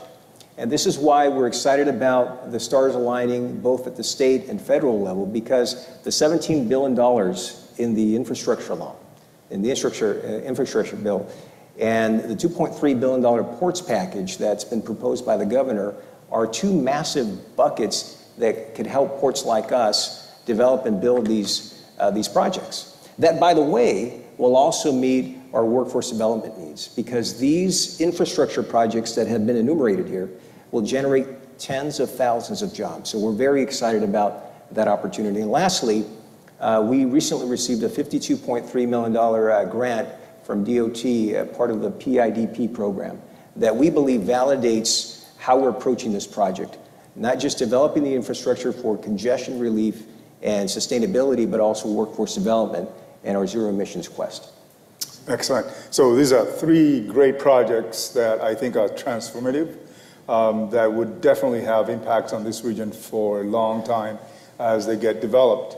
Now, from your perspective, Charlie, um, how does private equity play into enabling this, this public investments? Um, obviously, you know, public-private investments um, are, are key to, you know, helping a lot of these projects move along. And, and I know, you know, at Wells Fargo, we're just incredibly excited for the opportunity to, you know, assist uh, in any way we can, whether it be, you know, helping out with financing or providing uh, industry expertise in, in any manner of, of area. Uh, Um, but, but I think, you know, it, I think we're even understating the economic impact here. You know, it's not just tens of thousands of jobs. I think it's going to be millions of jobs over the long term. And this, if you're thinking about equality and lifting, you know, certain communities up, I, I really am a big believer in this type of spending. You know, um, as an economist, we kind of think in, in terms of you know multiplier effects and how you know a dollar of spending, if that goes out, how much extra dollars or how many jobs that will create. And in just the, the sheer magnitude of this infrastructure bill is just so great. And it's going to, A, lift up the economy in general. The rising tide lifts all boats, we've all heard that before. But the specific types of projects I think that are going to come as a result are going to be especially beneficial to some of the you know, lower income um, communities around the country and especially in Los Angeles. So I'm extremely optimistic, and I know at Wells Fargo we're extremely excited uh, for these different opportunities. Thanks all. So it's a great start to the panel. I imagine you all have some questions. I knew there was a hand up here uh, earlier on. Uh, two, three hands up. Okay. Uh, we'll start with Shanae. Hi, thank you so much. Um, so this is a really great panel, and my question. If you could also just state your name so we know who you are and where you're, and your, uh, just your affiliation, so the panel sure. is a little Yeah. bit familiar. Sure. Uh, Shanae Rourke, um, I'm on the executive committee of the LAEDC. That's the hat I'm representing today. Um, I know that the Metro Board, and this is for all the panelists, I know the Metro Board had recently moved forward a motion that was approved for 48 by 28 under um, Ms. Wiggins' leadership. We really applaud her for that, and I think it's a very strong message. So my question is really if she could talk a little bit more about that, and then I'd like to ask the other panelists uh, from a corporate side, corporation, as well as other public agencies, if they'll be taking, um, following the leadership of Ms. Wiggins in Metro. Okay. Th- That's, Thanks, that's Shanae. Yeah, thanks, Shanae. I think it's a great transition from Charlie's answer because he talked about the exponential benefits of the infrastructure dollar investment. Well, our 48 by 28 aspirational initiative is an example of this. And essentially, what we've set out is a goal in alignment with the 2028 Olympic and Paralympic Games to increase um, the percentage of um, procurement dollars awarded to small businesses to 48% by 2028. And it's an exciting goal. Um, today, we're averaging about 28% on our entire por- portfolio. Um, but we think it's important because we know that small businesses hire more people. We know that it's a way to really uh, stimulate the local economy. And we know, to Charlie's point, that particularly in LA County, small businesses have disproportionately been negatively impacted by the pandemic. So if we talk about a role that we can play in helping um, accelerate an equitable recovery, we think there's no better way to, to do that than with our small businesses. So on top of that, we're also coming forward with a local preference policy uh, for small businesses as, as well. But what we know for sure is that in uh, engaging in what we call inclusive procurement policy, it's not a handout. We get better quality work, we get competition on price, and um, we actually help stimulate the local economy. So it's a triple bottom line positive for us, and that's why our board has doubled down in light of the opportunities with the Olympics. You all's gonna follow? Justin's doing great things over Lawa. Sure, yeah. we're, we're, um, It doesn't have to be exactly the same thing, but the, the sense of how, how's small business playing into your program? Small business, small businesses are a very, very important part of what we do, small local businesses. Um, and we, we have very uh, strong inclusivity procurement guidelines that we've implemented uh, so that uh, there are um, very strong requirements around meeting certain um, percentages of small and local business in, in, in any procurement that we do. We also have implemented new contractual uh, language to make sure that, that those uh, goals are, those targets are not just aspirational, but they're actually are contractual so that there's teeth to them and we can hold people accountable and it costs them money if they don't meet them. Um, But uh, just as important is uh, all of our programs to try to help small and local businesses to be able to understand how to participate in getting these opportunities uh, with all the projects that we're doing. So we have uh, our Build LAX program where we're helping, giving programs uh, in place for small and local businesses to help them understand how they can certify themselves, how they can participate in opportunities uh, to work at LAX. And uh, of course, again, our, our whole um, uh, stress to have certain amount of the jobs be local uh, on each of our, of our projects as well. So we have uh, inclusivity uh, and is a very, very important part of everything we do in all of our projects. Yeah, and I, and I would also add, and I appreciate the question, uh, at the Port of Long Beach, we're definitely aligned with LAX and Metro. In fact, we have a long history as a port authority of trying to get our, the overall share of small and very small business uh, uh, contracts uh, to go up. In fact, we started with a goal of over 10 years ago of 25%. We're up to close to 30%. But it goes beyond that. We're also trying to amplify our outreach efforts to, veterans. Just recently, in the last year and a half, we've also amplified our efforts to try to make these contract opportunities to uh, minority owned businesses and targeting historically disadvantaged communities. In fact, uh, just in the last couple of months, uh, Port of Long Beach was selected as one of five entities across the nation on a national initiative that will um, uh, put together a template or a model to make sure that a lot of these infrastructure investments that translate into multi-million dollar, multi-billion dollar contracts are accessible by, by small businesses. Well, excellent responses. we know that, you know, by making sure there's diversity and inclusion in, in our program and beyond just small businesses, but to also minority businesses, that we can in fact expand opportunities to the tune I think it was a McKinsey report that said we can grow the GDP to you know, about two or three bill, trillion dollars uh, by ha- having all inclusive um, uh, economy uh, in, in this country. So, so there is a lot of uh, morality involved in doing what we're doing, but there's also economic sense in doing what we're doing. Great question. Uh, the next question. Okay, I, I'm gonna, Shane's going to be the controller. of There's a hand back there as well, and front and in front here. Hi, everyone. I'm Carolyn Torosis. I'm Supervisor Holly Mitchell, Senior Deputy for Economic Development. Thank you all for what you're doing. Hi, Shanae. I have a question around jobs. So I think we've thought a lot about the at the county. You know, we contract out for about six billion dollars of goods and services annually, and we obviously know LAX, the ports, Metro, are contracting out. So what are we doing to ensure local, diverse folks are getting into the actual jobs that we are creating through our contracts? Are we thinking about putting any sort of job standards in our contracts when we contract out these dollars? That sounds like a So, public, yeah. Yeah, I'm happy to take that for ours. So, and, and I think that um, colleagues all have the same types of procedures, but we, we put um, percentages uh, that, they, that when people propose in jobs that they have to meet as far as how many, uh, what percentage of the contracts, uh, the money goes to small local businesses, disadvantaged veterans, uh, and also local jobs. So we, we put these all in the procurements that people have to meet these or exceed them.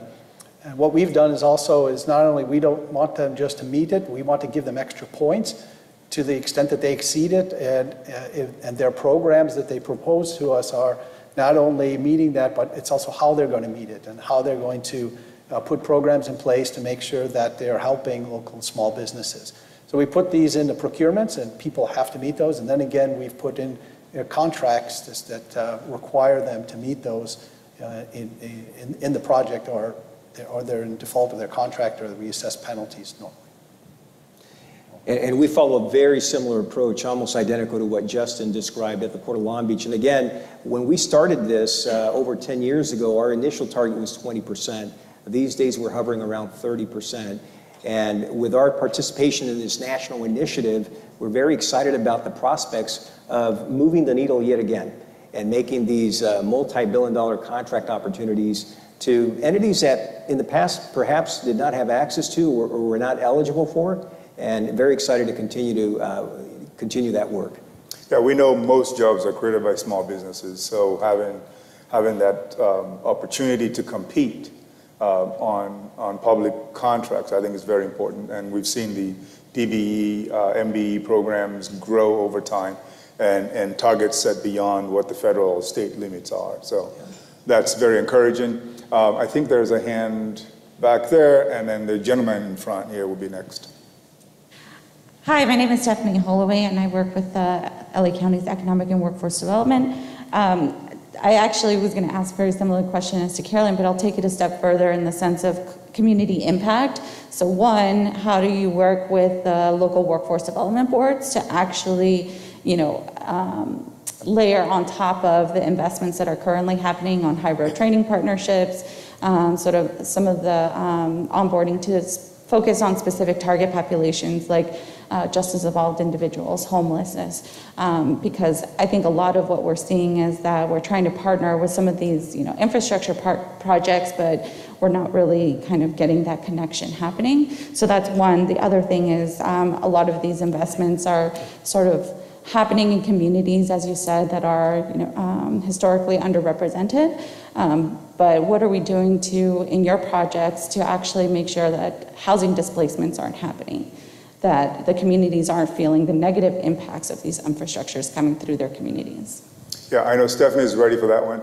Um, and if you just, if you could just, Stephanie, think about how we could use this one-time opportunity funds to change the, the dynamic of inequities that we see, especially targeting populations that usually are not represented in the workforce? Sure. A um, couple of things. So, working with workforce development boards, we actually did that at Metro when we developed our Workforce Initiative Now LA program, which is really to um, encourage hiring, uh, local hiring of our procurements outside of construction, because we have our uh, local hiring opportunities on our construction projects through our project labor agreements with our trades, and that's worked wonderfully, as I stated earlier. But about five years or so ago, we worked with local workforce development boards to develop this new program that would really look at the rest of the portfolio of job opportunities, both with our contractors and consultants, where they are actually given uh, bonus points on their evaluation as to their commitment to hire locally under our Win LA program, as well as internally to Metro. Um, so we've been more intentional about that recently, actually just last week. We just submitted um, an application at the federal level for a room to work program where we are intentional in targeting unhoused individuals, partnering with homeless outreach providers who also include wraparound services to um, for circumstances when they contact those individuals on our system, they provide them uh, housing. We are guaranteeing uh, a job for up to two years as a career pathway. So we're really excited about our Room to Work program, um, and that's a, uh, working with the community, homeless outreach providers, and others on that concept. You talked about housing. Housing is critically important. We have a joint development policy that focuses on affordable housing, minimizing uh, displacement and gentrification, and that has been met with some success. And then I'll just close with um, Kome's question about with this one-time funding, how can we be transformative, given your question, Stephanie? I want to uplift a partnership that we have going on with the county right now that we'd love LAEDC to be partners with us as well and that is um, developing a transportation technology center of excellence. And what that means at its um, most succinct point is bringing U.S. Rail, manufact- rail manufacturing back to the U.S. Today, uh, across the nation, there are no rail cars that are manufactured in the United States. We know that in LA County alone, because of the voters, we're going to be ordering over 900 rail cars just in the next 10 years. That's us alone. We know there are plenty of other customers. Partnering with um, the county and actually LAWA, we've identified a potential 20 acre site where we could, uh, working with the private sector, Charlie, we could develop this um, industrial park so we could bring manufacturing here to LA County, here to the US, and start growing um, a workforce that is trained in this technology um, that is sustainable. And what we need is this one-time investment at the federal level. It's about $2 billion, but that's the type of transformation that can happen when we take into account workforce development, um, demands for the industry, and then working with our county and economic partners to develop a plan.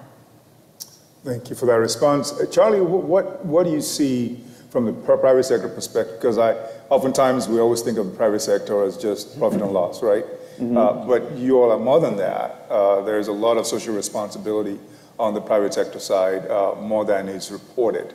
Uh, how do you see that? How do you see that playing out in this conversation we're talking about with diversity, equity, and inclusion?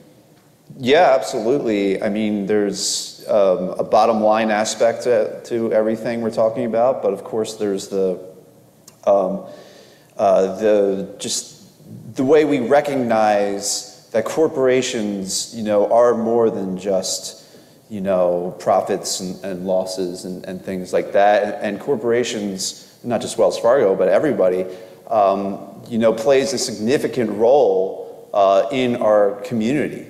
Um, and pro- you know, providing jobs, providing financing, providing economic opportunity is just you know so vitally important. And I think, um, and I think the time to be you know, passive with a lot of these things has, you know, is over. And I think the aggressive targeting of some of the more impacted communities and more directing more investment to some of these areas is just so um, important, not just from a social um, uh, sort of, of, thing, but you, just in terms of the economy as well, because um, it, it's not good enough anymore to have you know, a certain segment of the population doing well and a certain segment not doing well. You know, when you could have everybody doing well. So finding new and creative ways to sort of make that happen, I think, uh, you know, is just so important. And I think um, it's going to receive a whole lot more attention in the years ahead. You have a question here? Absolutely. Thanks so much. Jermaine Hampton, uh, Director of Workforce Development with LAEDC. Um, so really a comment and a question. So, so on one side, um, you know, we're developing a infrastructure workforce council. So definitely want to um, intertwine and get you all involved in that. Um, the flip side to that is uh, challenges. Um, what challenges have you had in terms of talent pipelines coming from the community colleges, the universities, um, in particular our American Job Centers throughout the LA region? Um, what challenges have there been from an educational standpoint, um, putting you know individuals into career pathways, et cetera? Um, could you just speak to that a little bit? Thank you. You want to start with that, Justine? Yes, sure. So challenges we have uh, most recently is the challenges everybody is having, and that is just getting people who want to work. Uh, and you know we are we are trying to to hire in certain areas, and we just can't find people that um, are taking these types of jobs, mainly around maintenance uh, areas and also security, so police and, and security officers. But in general, one of the things that we're trying to um, tackle with workforce development, and we've done a lot in the construction area, and we're, you know, we need to continue to do that. But we, we also, in, in just in the general aviation uh, area, we, we need to do a lot more, and we're looking to try to find who we can partner with to be able to find programs like we have Hire LAX for construction. We want to do the same type of thing for people to get people educated in the area of aviation and all the different aspects to aviation. Uh, because we just don't have anywhere to go to to find people who have this type of expertise or experience or training. And so uh, that's, a, that's an area that we're working on, especially right now. Yeah, we certainly have not been immune to the great resignation. Um, some of you have seen the footage of ships queuing up right out, outside the ports and containers piling up inside the terminals. And one of the reasons for that is because of a worker shortage, either at the warehouses, distribution centers, or even on the trucking side.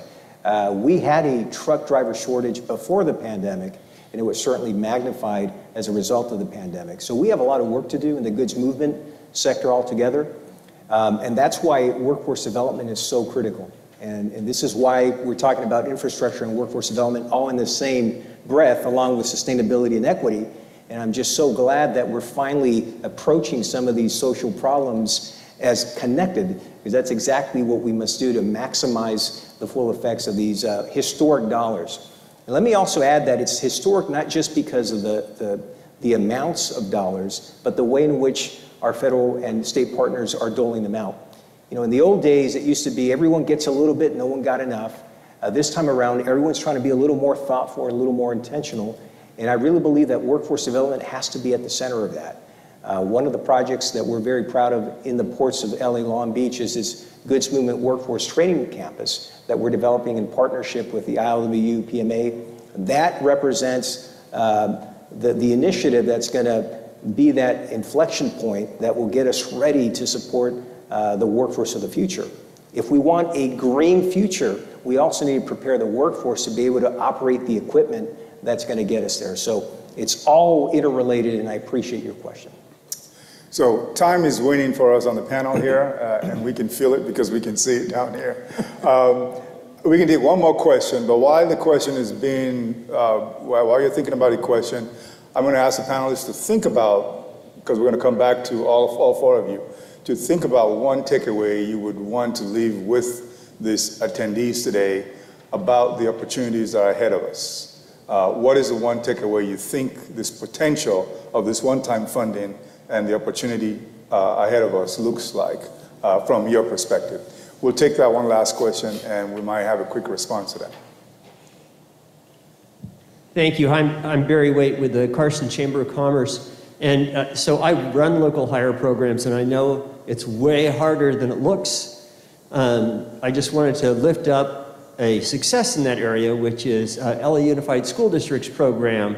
I was on the bond oversight committee for years, and uh, their program has been successful because they start from the ground up. So they, uh, they recruit people as workers, they nurture them as supervisors, they help them start their own businesses, and they have a pipeline of projects for them. So it's really hard to do local hire for one project. But when you have the stream of them, like your agencies do, it seems to work. So um, I would suggest looking at that model and, and let's, uh, let's go off of their successes because otherwise, it's frankly, it's just a lot of window dressing and you don't really have anything at the end of it. So let's do what we can do to nurture those from the ground up. Thanks. Well, thank you for sharing that. That's another way to diffuse innovation. Uh, we're going to start with Noel first. One I would, takeaway.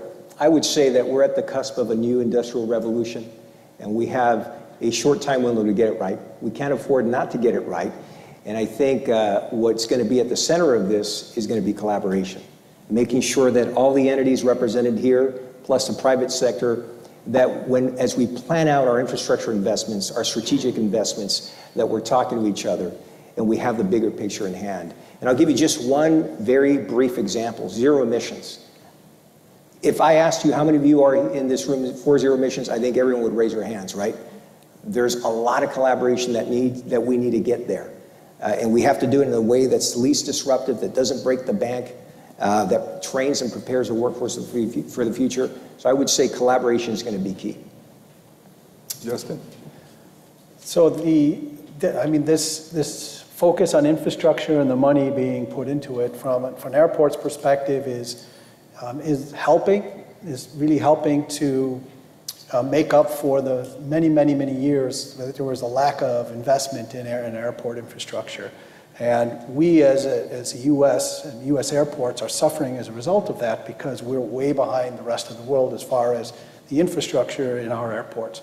So this is giving us an opportunity to really invest the money that we need. It's, it's not nearly enough, honestly. Uh, it's definitely a help, and we, we look forward to try to get, get even more uh, to, to, uh, to help us do this. But we're desperately in need of, of investments in our airports, and we are taking advantage of this opportunity, and the money is available to really uh, put uh, infrastructure, inve- make infrastructure investments at LAX and Van Nuys that are really going to transform our airports and make them into the airports that, that Angelenos deserve for this great city. So it's a, it's a, it's a, a great time right now, and uh, we have a very ambitious program to transform our airports. Thank you. Charlie.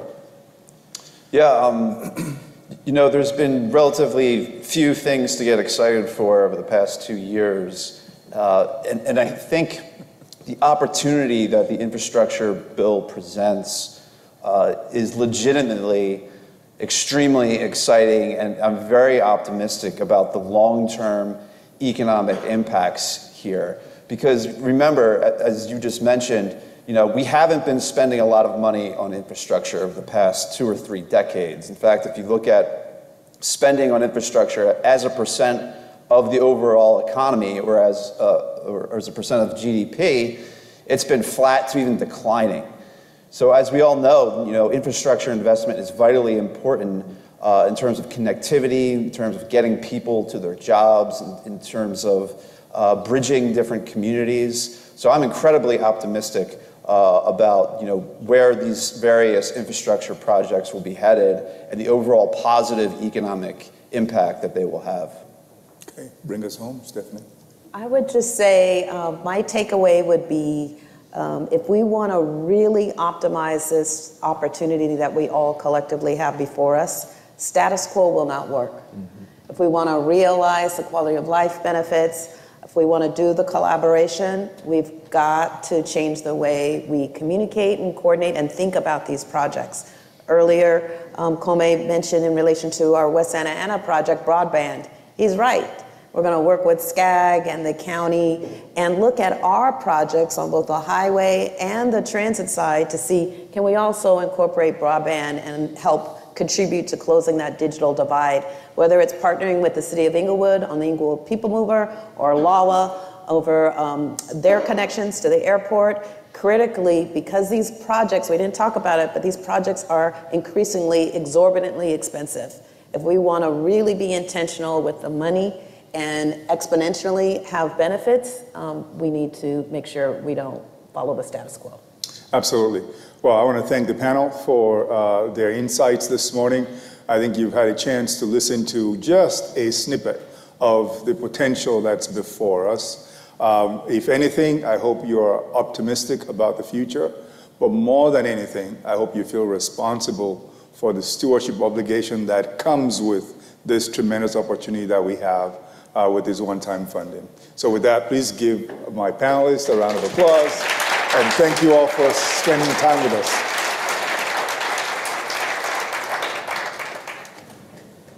And you have about 10 minutes until we begin our final session.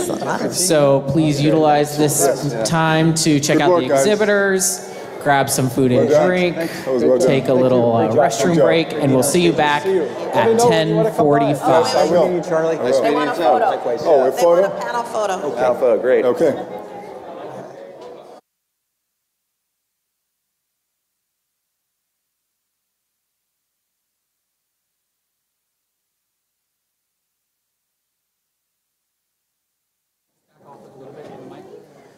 And closing plenary panelists and moderator, if you can meet me in the back by the AV booth. AV booth.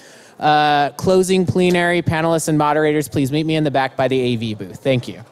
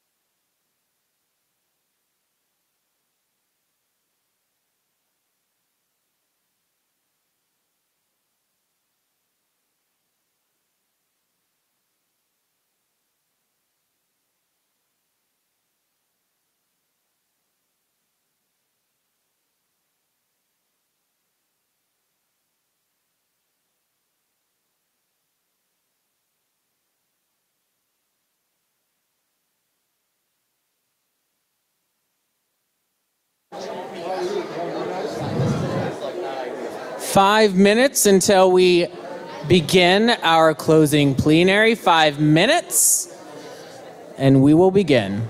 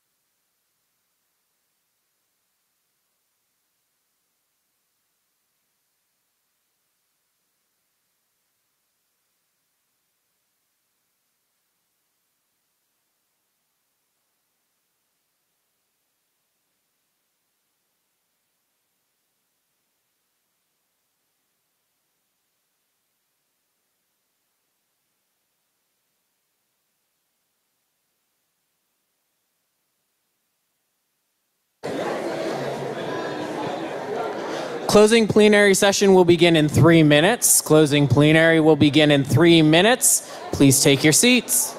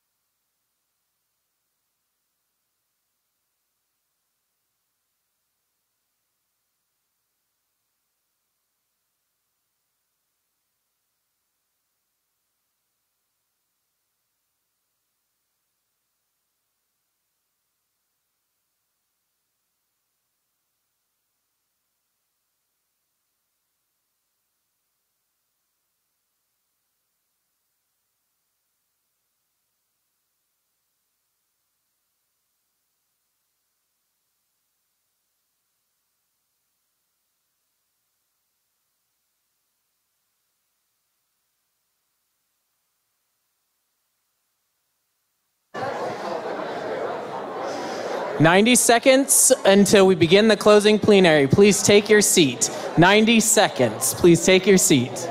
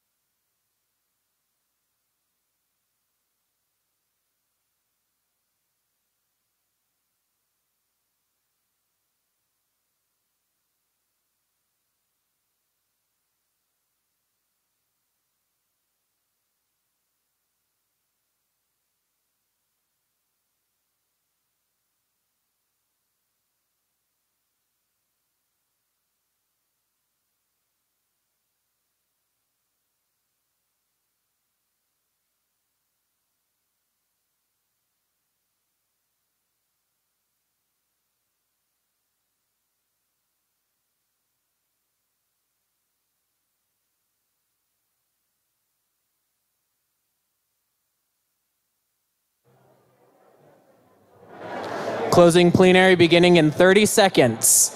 Please take your seats. We are beginning in 30 seconds.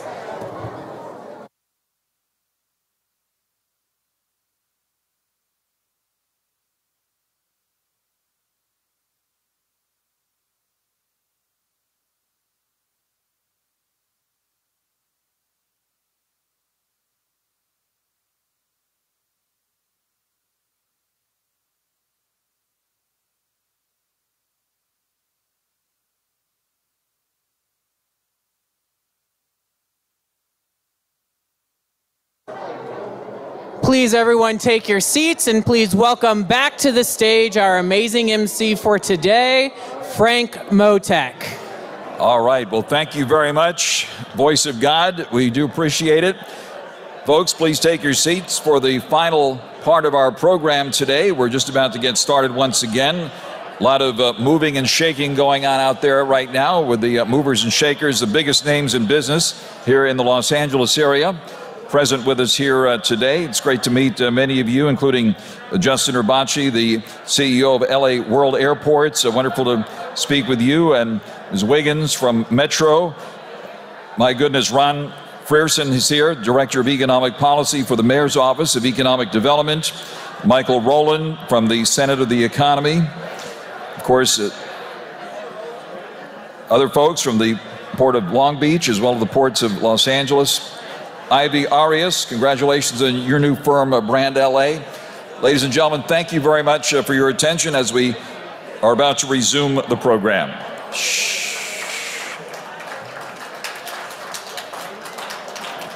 What a great day. And again, thank you so much, Bill Allen, for bringing us all together. It's been a fantastic experience throughout this entire morning being able to greet each other in person. And, and Stephen Cheung will see you up here in uh, just a few moments. So thank you very much and welcome back, everyone. Hope everyone is uh, recaffeinated and ready to go for the final part of the program. Hope you've enjoyed the powerful insights from the breakout sessions and innovation, infrastructure, and housing, and uh, get a chance to catch up uh, with a lot of friends here on the business scene. Now it's an honor to introduce to you the moderator for the closing plenary session, Aaron Osmond. Aaron Osmond currently works as the U.S. leader for the Education to Workforce team in the Global Public Sector Division of Amazon Web Services. In this role, Aaron Osmond leads a team of workforce experts who assist state education and workforce leaders to design and implement workforce readiness programs that will prepare their students for future cloud careers.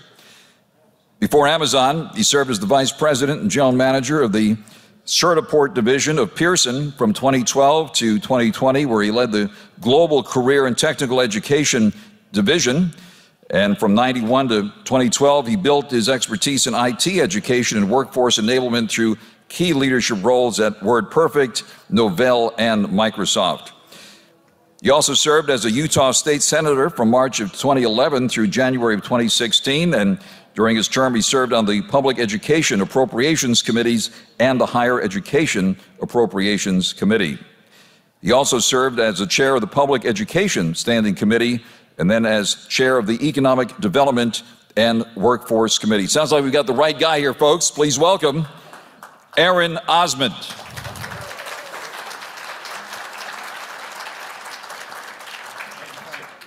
Appreciate it. Appreciate your time. Thanks a lot. Well, it is an absolute pleasure to be here today on behalf of Amazon Web Services. I want to thank the LAEDC very much for the opportunity to be involved and sponsor this important discussion. Uh, you might be wondering why is a guy, a white guy from Utah, here talking about these important topics going on here in California? I get that. And I hope that you'll see from this session today why we care at Amazon so much about this discussion the, the appropriate and future use of, um, of federal funds that are coming to help stimulate economic development in a diverse and equitable way. So we're excited to talk about this today. I want to share that the, the session today is really about we have all these funds coming in from the EDA and Build Back Better and even CERF related funds that are being allocated into the state. And we really want to have a representation from the community, from business and government, these different ecosystems that interact together. You can't separate them. They interact together in the successful utilization of that funding. And we're going to hear from some experts today that really have that context about how these funds could be and should be used in the most effective way to drive economic growth and resiliency in the communities of California. So I want to introduce our panelists and invite them up to the stage. I want to have all three of you just come on up. I'll read some little information about each of you as you guys come up. First of all, Toks Omishakin, who is recently, just on Monday, was announced by the governor as the new Secretary of Transportation. We'd like to welcome Toks to the, to the stage with us. He's been managing the Caltrans system, but is now in a much broader, comprehensive role. We congratulate him and give him some condolences for the burden and pressure that he's facing. Um, we also want to welcome Gustavo Velasquez, who is the director of the State Department of Housing and Community Development. Many of you may know that he actually served as an assistant secretary at the HUD in, back in the DC and has just a lot of experience about economic development in the context of housing.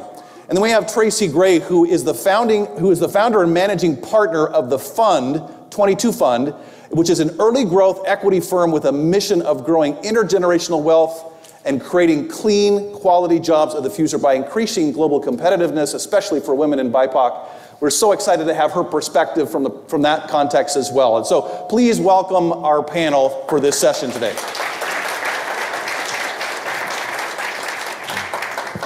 Okay, panel, I want to I want to get started by talking about these three ecosystems. The first is infrastructure, innovation, and housing. And they all have, you know, great potential. They're they're rooted in equity and sustainability and resilience for the economy of California. But before we start talking about how federal funds that are coming in impact these areas, I'd like to get your perspectives, all three of you, about why you believe your specific ecosystem is central to economic development in that context. Let's start with you, Gustavo. Thank you. Thank you for the opportunity to be here and share the stage with uh, such esteemed colleagues. Um, well, as the uh, housing market goes, the economy goes. I mean, we all remember the tragic events of 2007, 2008, when Wall Street was playing monkey business with financial instruments that were pumping so much money into the housing market, and that started a, a, a events that uh, were tragically evolving to the, one of the worst financial crises of a generation. And uh, the issue, the biggest issue here is that we cannot have a vibrant economic recovery if the housing market is not economic, uh, recovering as well. Uh, McKinsey estimates uh, in about $140 billion economic output losses because of the shortage of housing in the state of California. That's $140 billion annually. So it is very, very important that we ensure that we have a vibrant housing market in terms of the supply of housing. Is making sure that we have enough supply of housing we are doing better looking at the last quarter, the last couple quarters, but it's still uh, the issue of supply is crushing uh, many people, especially low income people, people of color, minorities. Uh, here in LA County, 78% of extremely low income families pay more than 50% of their income in housing. In order for a person to afford the average rental asking price, you have to earn in LA County $39 an hour. So when we think of economic recovery, we have to think about the availability of housing that will improve the affordability and accessibility of housing across all communities, across all neighborhoods. This is very much tied to also where housing is available, ties to sectors like transportation and innovations in technology, the types of housing that we are creating. But certainly housing shortages has to improve in California.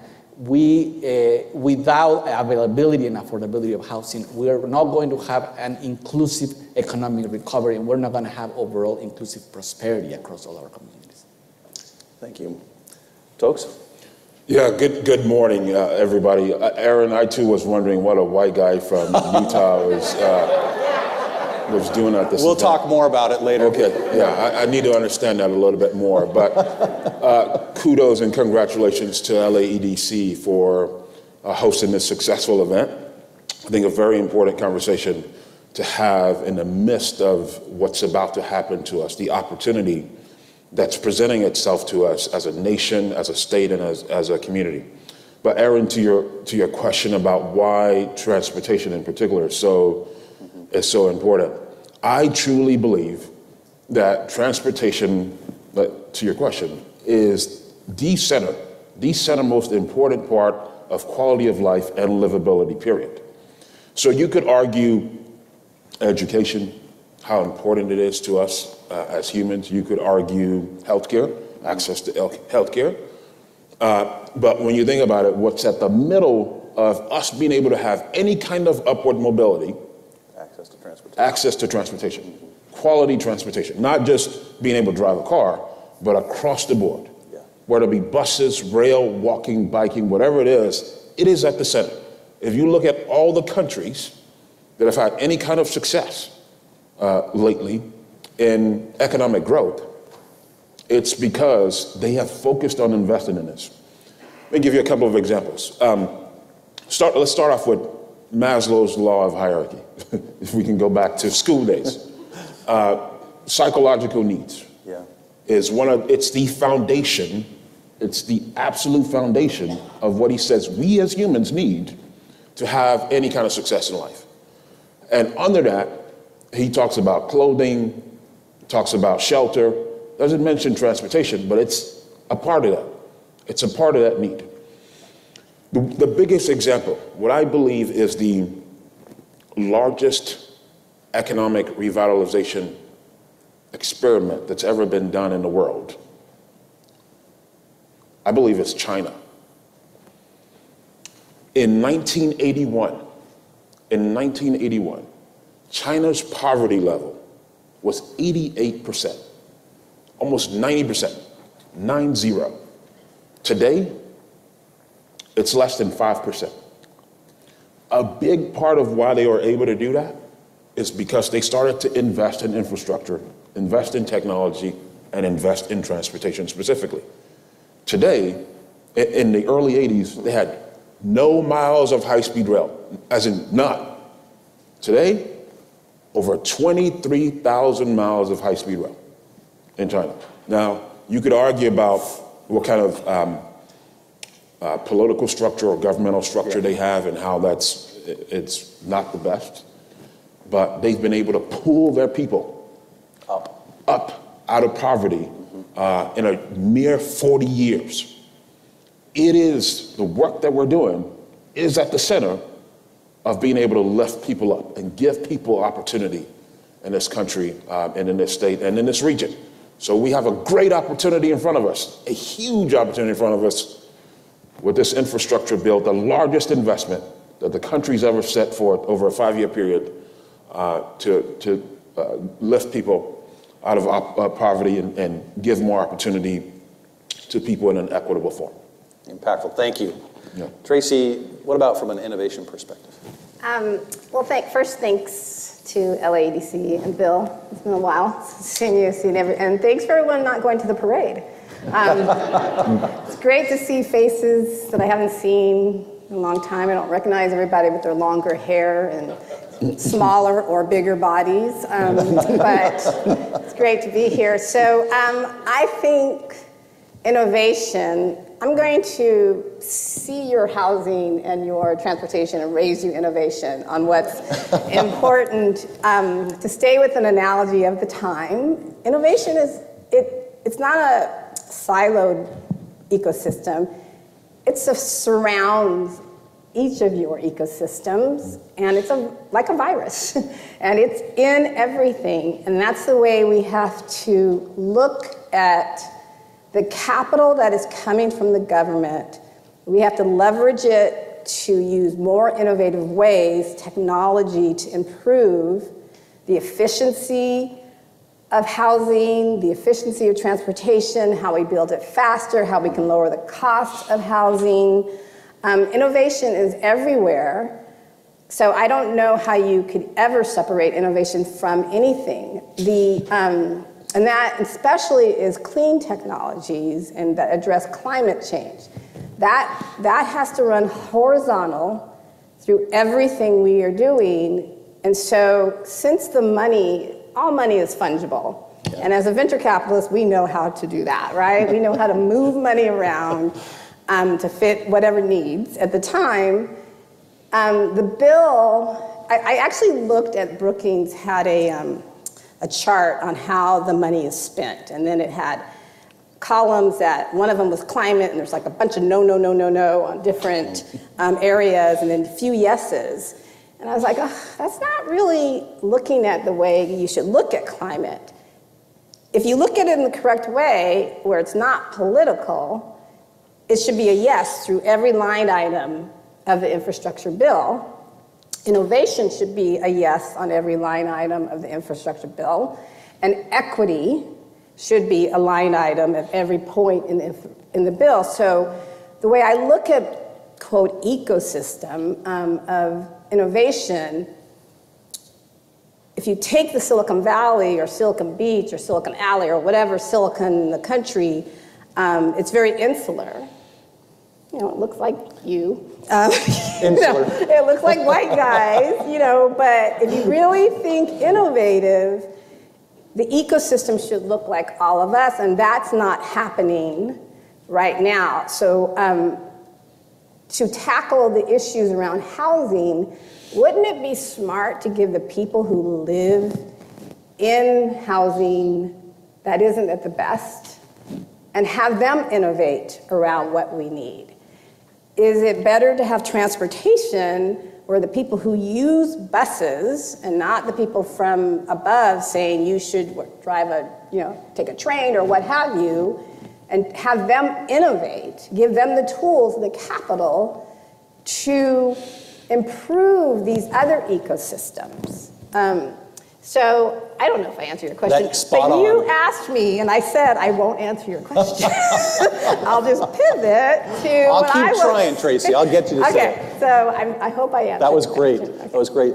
Let's talk about trends, and I'll give you an example. Um, at Amazon Web Services, we're seeing cloud is fundamentally changing every industry, every business. It's enabling equity and access to small businesses to compete with Fortune 500. And it's also creating huge problems in the workforce because we just can't find the talent to fill the technical jobs that are needed to support our growth. Similar kinds of trends are affecting each one of you in your ecosystems. Let's start with you, Gustavo. How, what trends are you seeing from an economic impact, economic development impact in housing? One of the things where housing intersects so well with transportation innovation is something that California actually is doing well. It's leading the nation, which is the fight against climate change. Housing accounts for about uh, one fifth of the gas, uh, the harmful gas emissions we know transportation, unfortunately, is the number one cost of that. But, but, but. Thanks, Gustavo. Thanks. but it, it, is, it is becoming a bigger problem for buildings, residential units. In fact, across the country, multifamily buildings and single family homes combined represent the sixth emitter of harmful gas emissions on the planet for the US housing market. So we have to do better, and there are two ways in which California is leading the way. First, the innovations in how housing is being built now. So, you know, the revolution of uh, green building is with us. the innovations in manufactured housing, the innovations in modular housing that are having a great effect in the um, decarbonization of the housing sector. Uh, the push towards electrification, just the same way we're seeing it in transportation, we're seeing it now in housing, and the governor is resolute to advance in California towards those objectives of decarbonizing transportation sector, housing sector. Just a lot of innovation in the field. But the other is where we are creating new housing opportunities. Uh, this is an issue where the state has to partner with local jurisdictions to make sure that we focused on uh, the creation of housing in infill sites, denser sites, closer to job, closer to the center of economic activity, and not so much so far away uh, in, in, and it's happening that way because if you go farther away from the urban core, that's where you're going to pay less for housing. But that ha- comes at a tremendous cost right. to the environment, a tremendous cost in commuting times. So we have to ensure that housing focuses on uh, um, uh, areas that reduce vehicle miles travel, focuses on infill. Uh, I think this is a, an opportunity in the economic sector where, where things are really evolving and it can create tremendous output in construction, in goods and services. Everything that a home has to be included, included with has to be uh, eh, focused on innovations in the fields that focused on the green economy. And I think California is really on a path on improving uh, tremendously in, in, in, in this area. Fantastic insights. Thank you. Toks. What are your thoughts on the transportation side? So, you know, I've, I've been around the transportation space for roughly 20 years. I heard my friend uh, Kome say on the last panel, this is a once in a lifetime uh, opportunity in front, in front of us. Uh, the biggest thing that I'm seeing as far as a trend is we're getting the money finally. Yeah. We're getting the money. So in 2017, California passed SB1. It's putting $5 billion annually towards transportation, additional revenue that the states never had. The governor's budget this year, January of this year, 9 billion is being proposed for transportation. Roughly half of that is going to is being proposed to go to high-speed rail. We're getting the federal money on the highway side at Caltrans alone. Our budget over a five-year period was roughly 20 billion. We're going to be getting 25 billion. So money, money, money like we've never seen. Uh, the Caltrans budget this year, our annual budget, is going to be over 20 billion dollars for the first time in its history. We're going to be north of 20 billion. But the biggest trend and the most important trend as a part of the money is the fact that policy is finally connecting to the resources. And it's never happened like this before. It's always one or the other. If you go back in history, it's we got a lot of good policy, but where's, where's the money? Or the other way around. You got money, but the direction that we're going as a nation, you're, you're saying, what in the world? We're not hitting the key issues. We're not hitting on the things that are the most important. Finally, I believe we're there. Um, issues around climate, issues around equity, and transportation specifically, issues around safety, are finally at the center of how we're doing our work. Those are the foundational principles of Caltrans today safety, equity, and climate action. That's what every, all of our work is done through that lens. So we're finally at a place where we can say, look, we're to, we believe we're to make uh, some, some headway. We're to make some dividends. We're to pay some dividends uh, out of uh, all the work that's been, been going on uh, uh, for many years. And, and the trend is a lot of, as you could tell from the prior panel, or I only saw the prior panel, but a lot of cities, uh, county governments, state governments are trying to do the same thing. They're focused on the same, uh, same issues and not just giving lip service to how important these issues are. So, uh, an incredible period in front of us. I love the comment about policy aligning with the funding, that it's a very unique time in history, and we need to take advantage of it. Absolutely. Tracy, your thoughts? Your question was about workforce. Correct. Okay.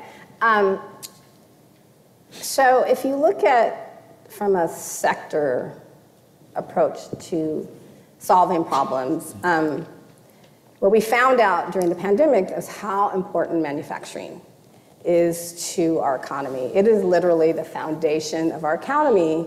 When we were, you know, held up in our houses during the pandemic and couldn't get enough PPE and other stuff, and then when we have the supply chain problem, this is all comes from where the manufacturing is located. What a lot of people don't know is Southern California, I think it still does, the last I looked, is the number one manufacturing center in the country, more than all of Michigan combined. But we can't, um, we have 2.4 million jobs unfilled in the manufacturing sector in the country from a lack of skills. Exactly. So our workforce development organizations are not keeping up. And that impacts both of you because the um, supplies you need to build are different than they were in the past, and they're built either from robotics, there's some AI involved. So um, technology is not killing jobs, it's changing jobs. Mm-hmm. Unfortunately, we are not upskilling the workforce because manufacturing right now you need at least you just need eighth grade analytical skills so we need to start thinking about that when it comes to workforce and digital education for workforce development needs to be infused in manufacturing um, i think i said like just in time just doesn't work anymore right it's not going to work anymore we have to shore up the inventory of manufacturers, but they can't do that because there's no capital for them for working capital and inventory. They use, it's usually their capital is um, because of a PO they have. They build that, but they can't hire more people. Um, and then we need to teach our manufacturers also how to export more.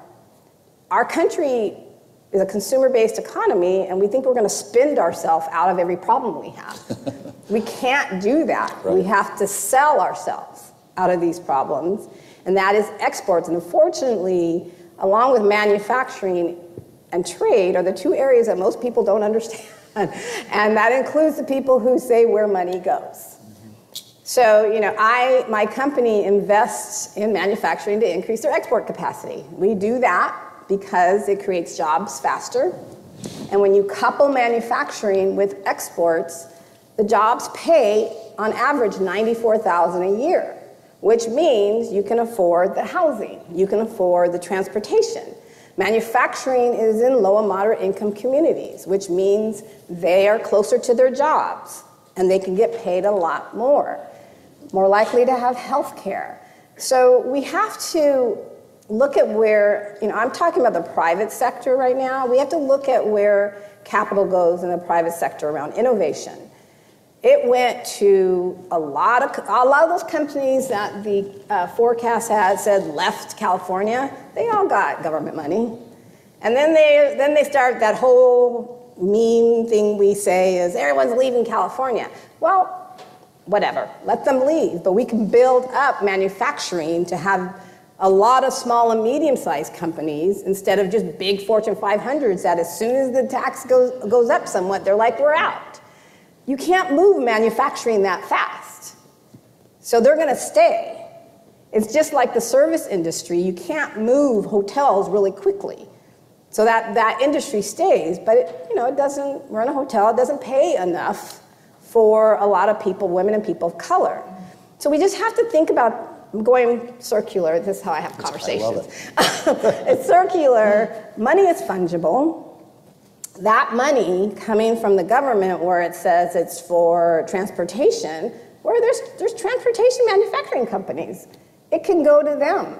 There are manufacturers of modular homes. If there's, if there's money going to housing, have it go to these companies we just really have to think differently. I, I can't remember who it was, who's someone on the last panel. I don't know her name, but it was the only woman on the panel. I think it's the only one. Um, she said that we can't, Stephanie, status quo, no more. It hasn't gotten us anywhere thinking the ways we used to think. And it's that old saying, you know, um, which I can't remember, but something about it when you think about doing the same thing over again, that's the definition of crazy. Amen. We are at the definition of crazy. That's absolutely right.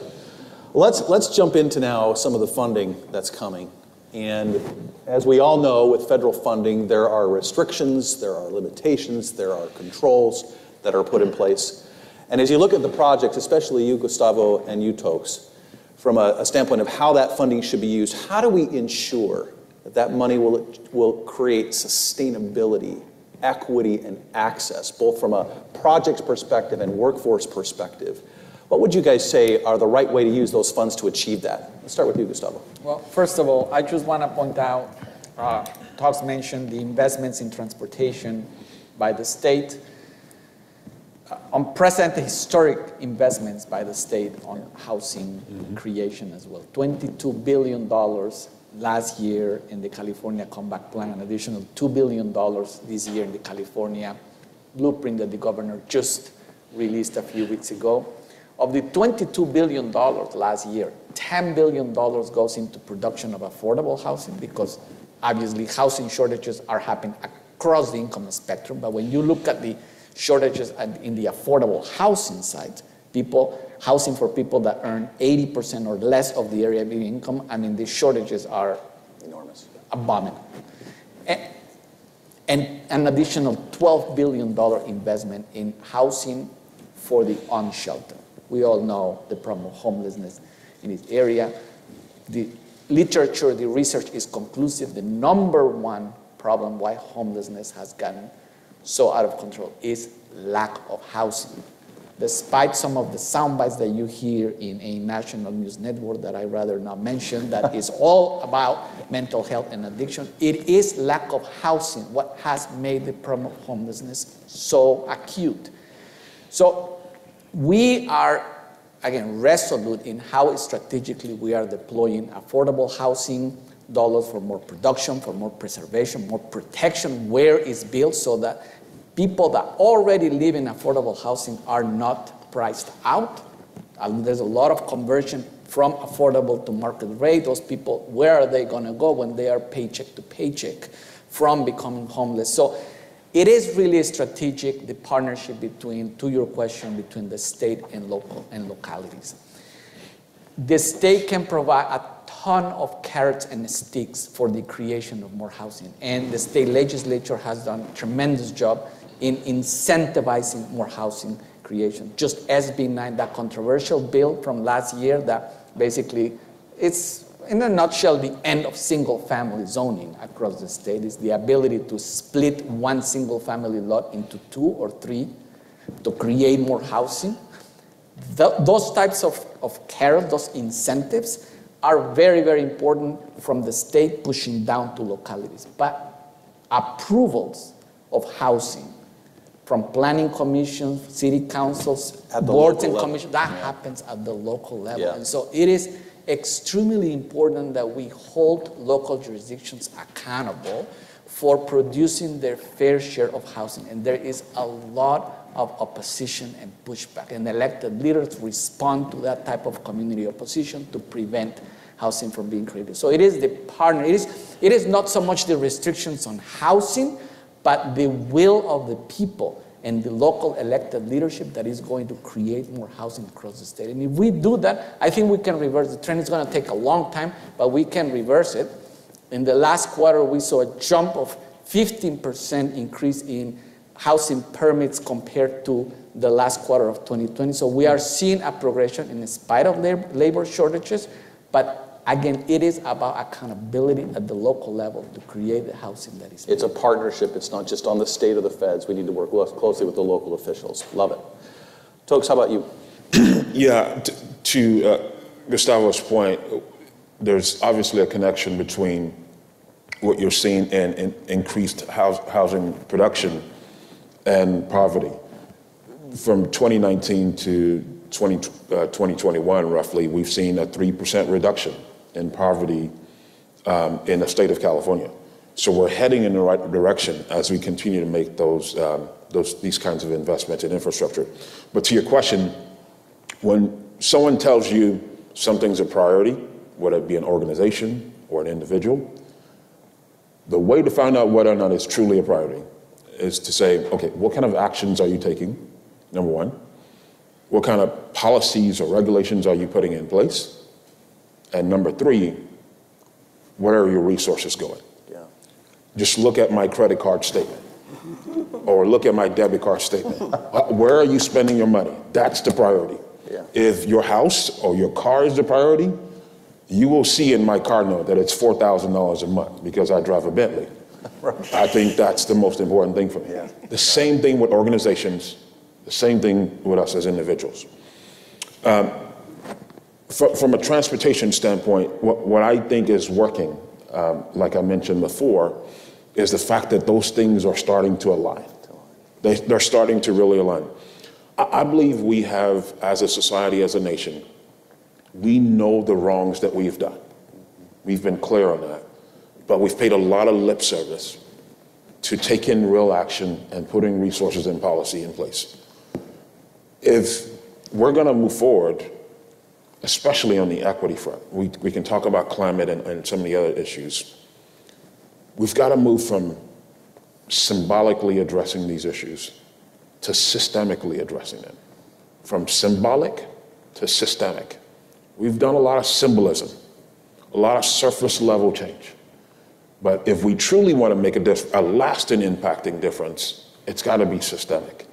And I think we're finally there. One of the examples that I can point out from the bill, it's the smallest part of the infrastructure bill that passed. There's something called reconnecting communities. Um, that's a component of the infrastructure bill. Climate has a more than $50 billion piece, and uh, there are huge components across the board, but the smallest piece is reconnecting communities. It's a billion dollars over five years. So essentially, for all of America, $200 million a year over five years. But nevertheless, it's a seed that's been planted. It's going to make a difference. The federal government has never admitted, never admitted uh, to this level um, as a nation that the way we built that infrastructure system had significant negative impacts on underserved communities. That's never been a public, full public admission.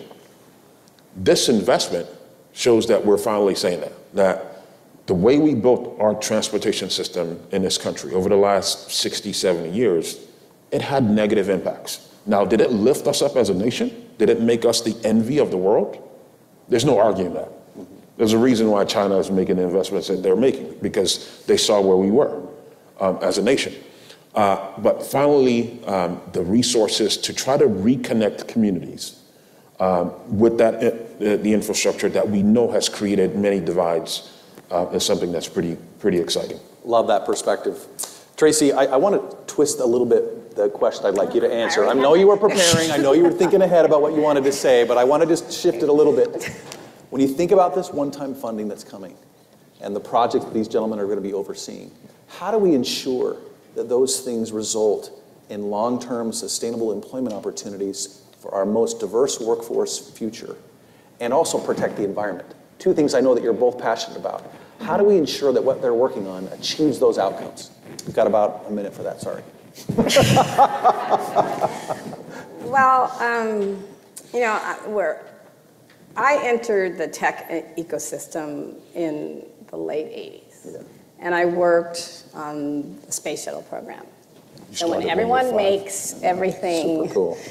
complicated, I say it's not rocket science because I worked in that, so I know what it is. Um, you know, and there was a lot of money that came to the internet, called DARPANET at that time, that then all these private sector companies are making gazillion dollars off of, right? So, and you know, I was on the innovation panel. I watched the innovation panel, and one of the portfolio companies, one portfolio of an investor had 2,000 jobs open that they couldn't fill. Now, that's this sector is most of us can't work in the tech sector. It is an elite group of people that can work that. 90% of the country cannot work in the tech sector. Yet all this money and all this time and effort are going into innovation in the tech sector. It's not equitable. Uh, see, 98.7% of all assets under management in this country are managed by white men.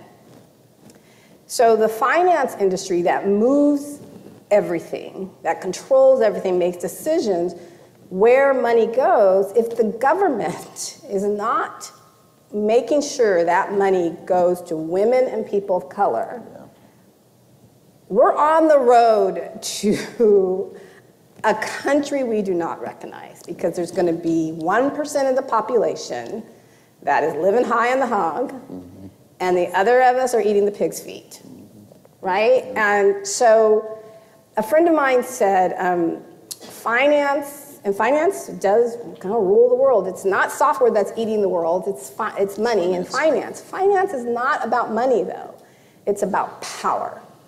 Power meaning agency of knowing of who gets what, who grows, and we have to shift that. That the R&D money that went to SpaceX, that went to Tesla, and now they're complaining about paying taxes when they got our tax money to be these gazillion dollar companies. It's just, I don't understand it, but that's got to change. This money has to go to women and people of color. Women get less than 1% of all venture capital. Women of color, specifically black and brown women, less than 0.1%. That's a rounding error. Yet our businesses are more successful. Now, what the, you know, what's, what the effing F? You know, I don't understand why people want, so this money from the federal government, if it's going to the private sector, it's got to go equitable to women and people of color so that it's not just 0.1% of the businesses that are important to us are getting capital, but we switch that. And I, I recommend all of you, you were a state Senator. senator, tell them this is where the money needs to go. And it doesn't, it's not a zero sum game that if I get money now, some white guy is not going to get money. We know how much money is sitting out there, not being used, not knowing where to go, so they keep pushing up the valuations of companies because they're like, I don't know where to, to throw my money, so I'm going to keep throwing it at that company. That's going to hurt all of us. Love it. Let's give her a round of applause on that. That's just phenomenal. We, this is super important. It's time for take a few questions from the audience before we wrap up, and we've got uh, a couple of minutes here for maybe two or three questions. Who in the audience would like to ask one of our panelists a question? By raise of hands. I see one right here, Shane. Oh, sorry. now you have to. Now you have to ask a question.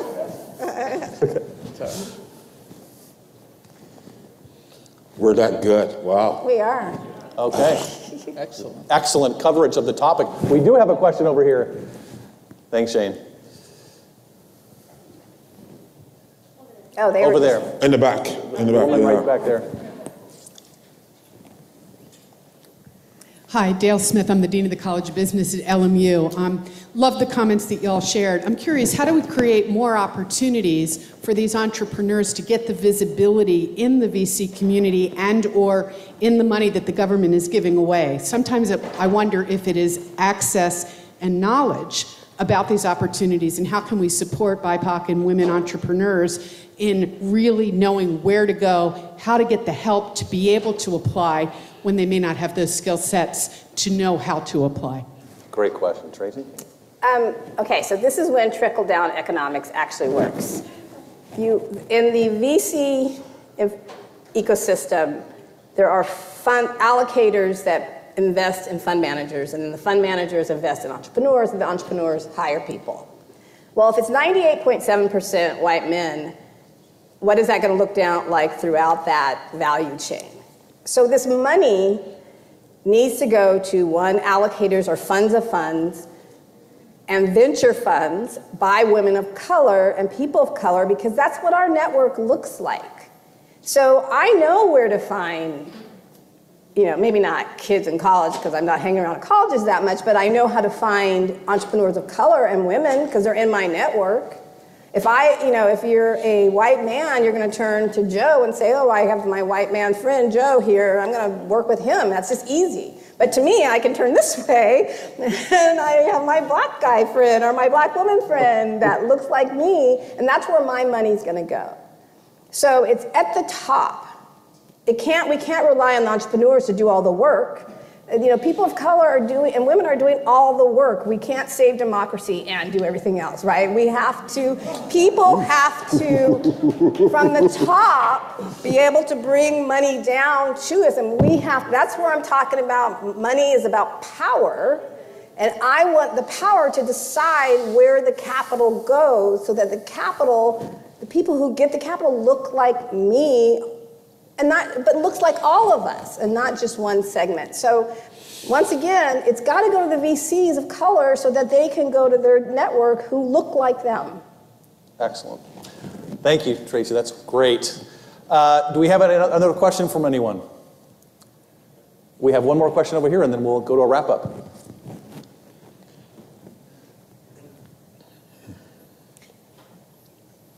My question's for Gustavo. We talked about uh, the importance of building denser communities, infill development, closer to jobs. I mean, that's wonderful. So one of the things that I'm concerned about as an economist is what policies or what can we put in place, what do you think we can put in place so that we, the market has the incentive to build this, to build this type of housing, uh, to encourage living in multifamily housing, for example, and in older housing and in, in the city. So what, what sort of policies do you think would be uh, effective at providing those incentives? Thank you for that question. When I say that there is a historic level of investment in housing production, especially on the affordable housing side, all of that money, $22 billion from last year, and an additional $4 billion this year, all of that, when we are deploying that, we are redefining the criteria in a way that we focused on pro housing incentives that will have to inevitably uh, include uh, points that make that type of housing, the housing that is infill, the housing that reduces vehicle mile travels, the housing that is denser for multifamily units, all of the criteria for how that funding is deployed has to be redesigned in a way to fully incentivize that. And, and, and you know, we see it. A lot of the housing, affordable housing that is created in the state has to compete for bonds and tax credits. Investors buy that in order to, uh, uh, for developers to create the type of housing that we need in the state. And all of that criteria in the last two years has changed in order to focus on the types of incentives that will uh, foster, will propel the housing creating opportunities that are focused on location, are focused on areas of high opportunity, are focused on areas that uh, that really cement the notion that housing is an anchor. Everything revolves around it. You know, the, the, the, proximity to job centers, the proximity to healthcare facilities, the amenities, parks, libraries, the quality of the school, the quality of the air you breathe or the, the water you drink all of that in the state currently is being redefined to create the incentive apparatus that will put those, that housing in a winning position every time. Thank you. Well, we're at time, guys. What I'd like to do is to give each of you an opportunity in just a one minute summary. What is the most important takeaway you want this group to know about your community area when it comes to economic development in the future here in, in California? Tracy, let's start with you trust women and people of color with money to do what they know is best. Love it. Thank you. Toks. Yeah, so when I think about where we are today as it relates to transportation, I, you hear the term a lot, and it was actually used um, on, on stage today that rising tides lift all boats. But we have to remember that there are many people whose boats, their sails have been torn, that there are holes in the bottom of their boats. That no matter how much the tide rises, their boats will not float. Their boat will not move if we don't go back and fix those sails and plug those holes, in those boats, their boats would never move. Their boats would never rise. The responsibility and the opportunity in front of us is to do exactly that with the infrastructure funding we have, to what you're describing. We have to go back. We have to go back and fix those sails and plug those holes and truly lift all boats. Thank you. Love it. We'll give you the final word, Gustavo. Housing is the great equalizer. That's why when the pandemic exploded, if you, other than having inherent health conditions that put you at risk, the other important factor, that the most important factor you needed to have is a place to go, a place to call home, to go and be protected, be safe. So housing is the great equalizer, but housing, it's, the, the housing market has been extremely unequal. There is great inequities in who access to housing, who can afford housing. So if we want truly an economic recovery, it has to be an inclusive economic recovery, and housing has to be measured by how equitable the housing market responds to the people that need it the most. Thank you for summing up, all three of you. I want to behalf on behalf of the LAEDC, I want to say thank you for being our panelists today. Thank Thanks, you. everybody. Thank you very much, Aaron Osmond and panel. We have one more question. Can you bring out the Bentley for Toks? We're just about to wrap up, but first, to wrap things up officially now, and to thank all of you, ladies and gentlemen, please welcome Stephen Cheung to the stage to close out the program. Stephen Cheung, CEO of the LAEDC and President of World Trade Center Los Angeles.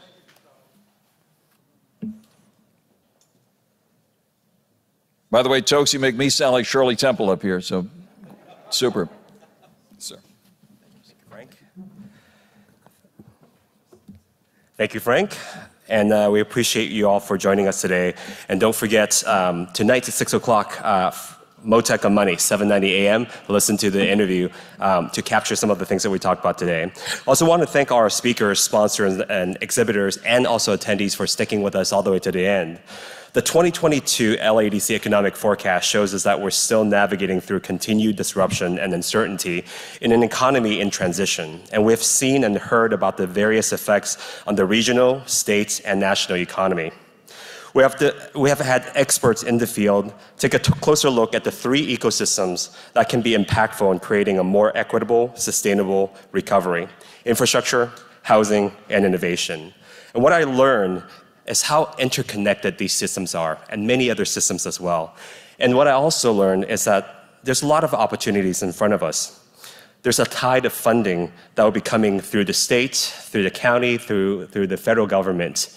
And this tide, as uh, Toks was mentioning before, and he actually took uh, my ending a little bit as well, is that these tides can actually lift all boats. And to add to what he's saying, what if you don't have a boat? It's not about your sail being broken. A lot of our communities never had the opportunity to have those boats. And so, what Stephanie Wiggins said earlier as well is that we cannot go back to the status quo. We need to help people build boats. We need to make sure they learn how to build their own boats. So, when the tide comes, we can all be lifted together. And that's why it's so important. I'm so glad to have so many different partners from government, business, education, nonprofit, philanthropy here with us today. And we hope that you can share, we shared some experiences, thought leadership, and potential solutions for you to take back home to your communities and your workplaces.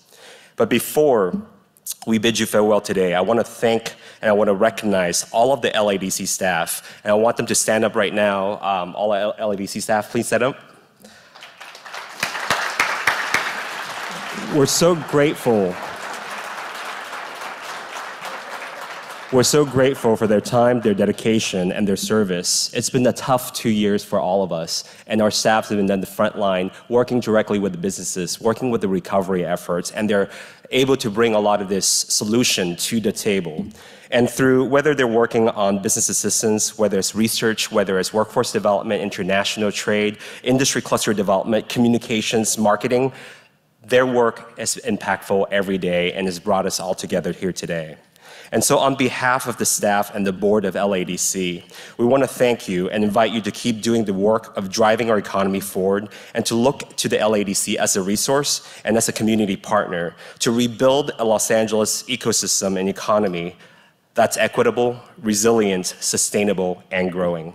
Thank you for being here today, and we look forward to seeing you. One last thing is that Shannon and Julia's presentation that uh, shared so many great information will be available on our website, laedc.org, later, this, uh, uh, later today.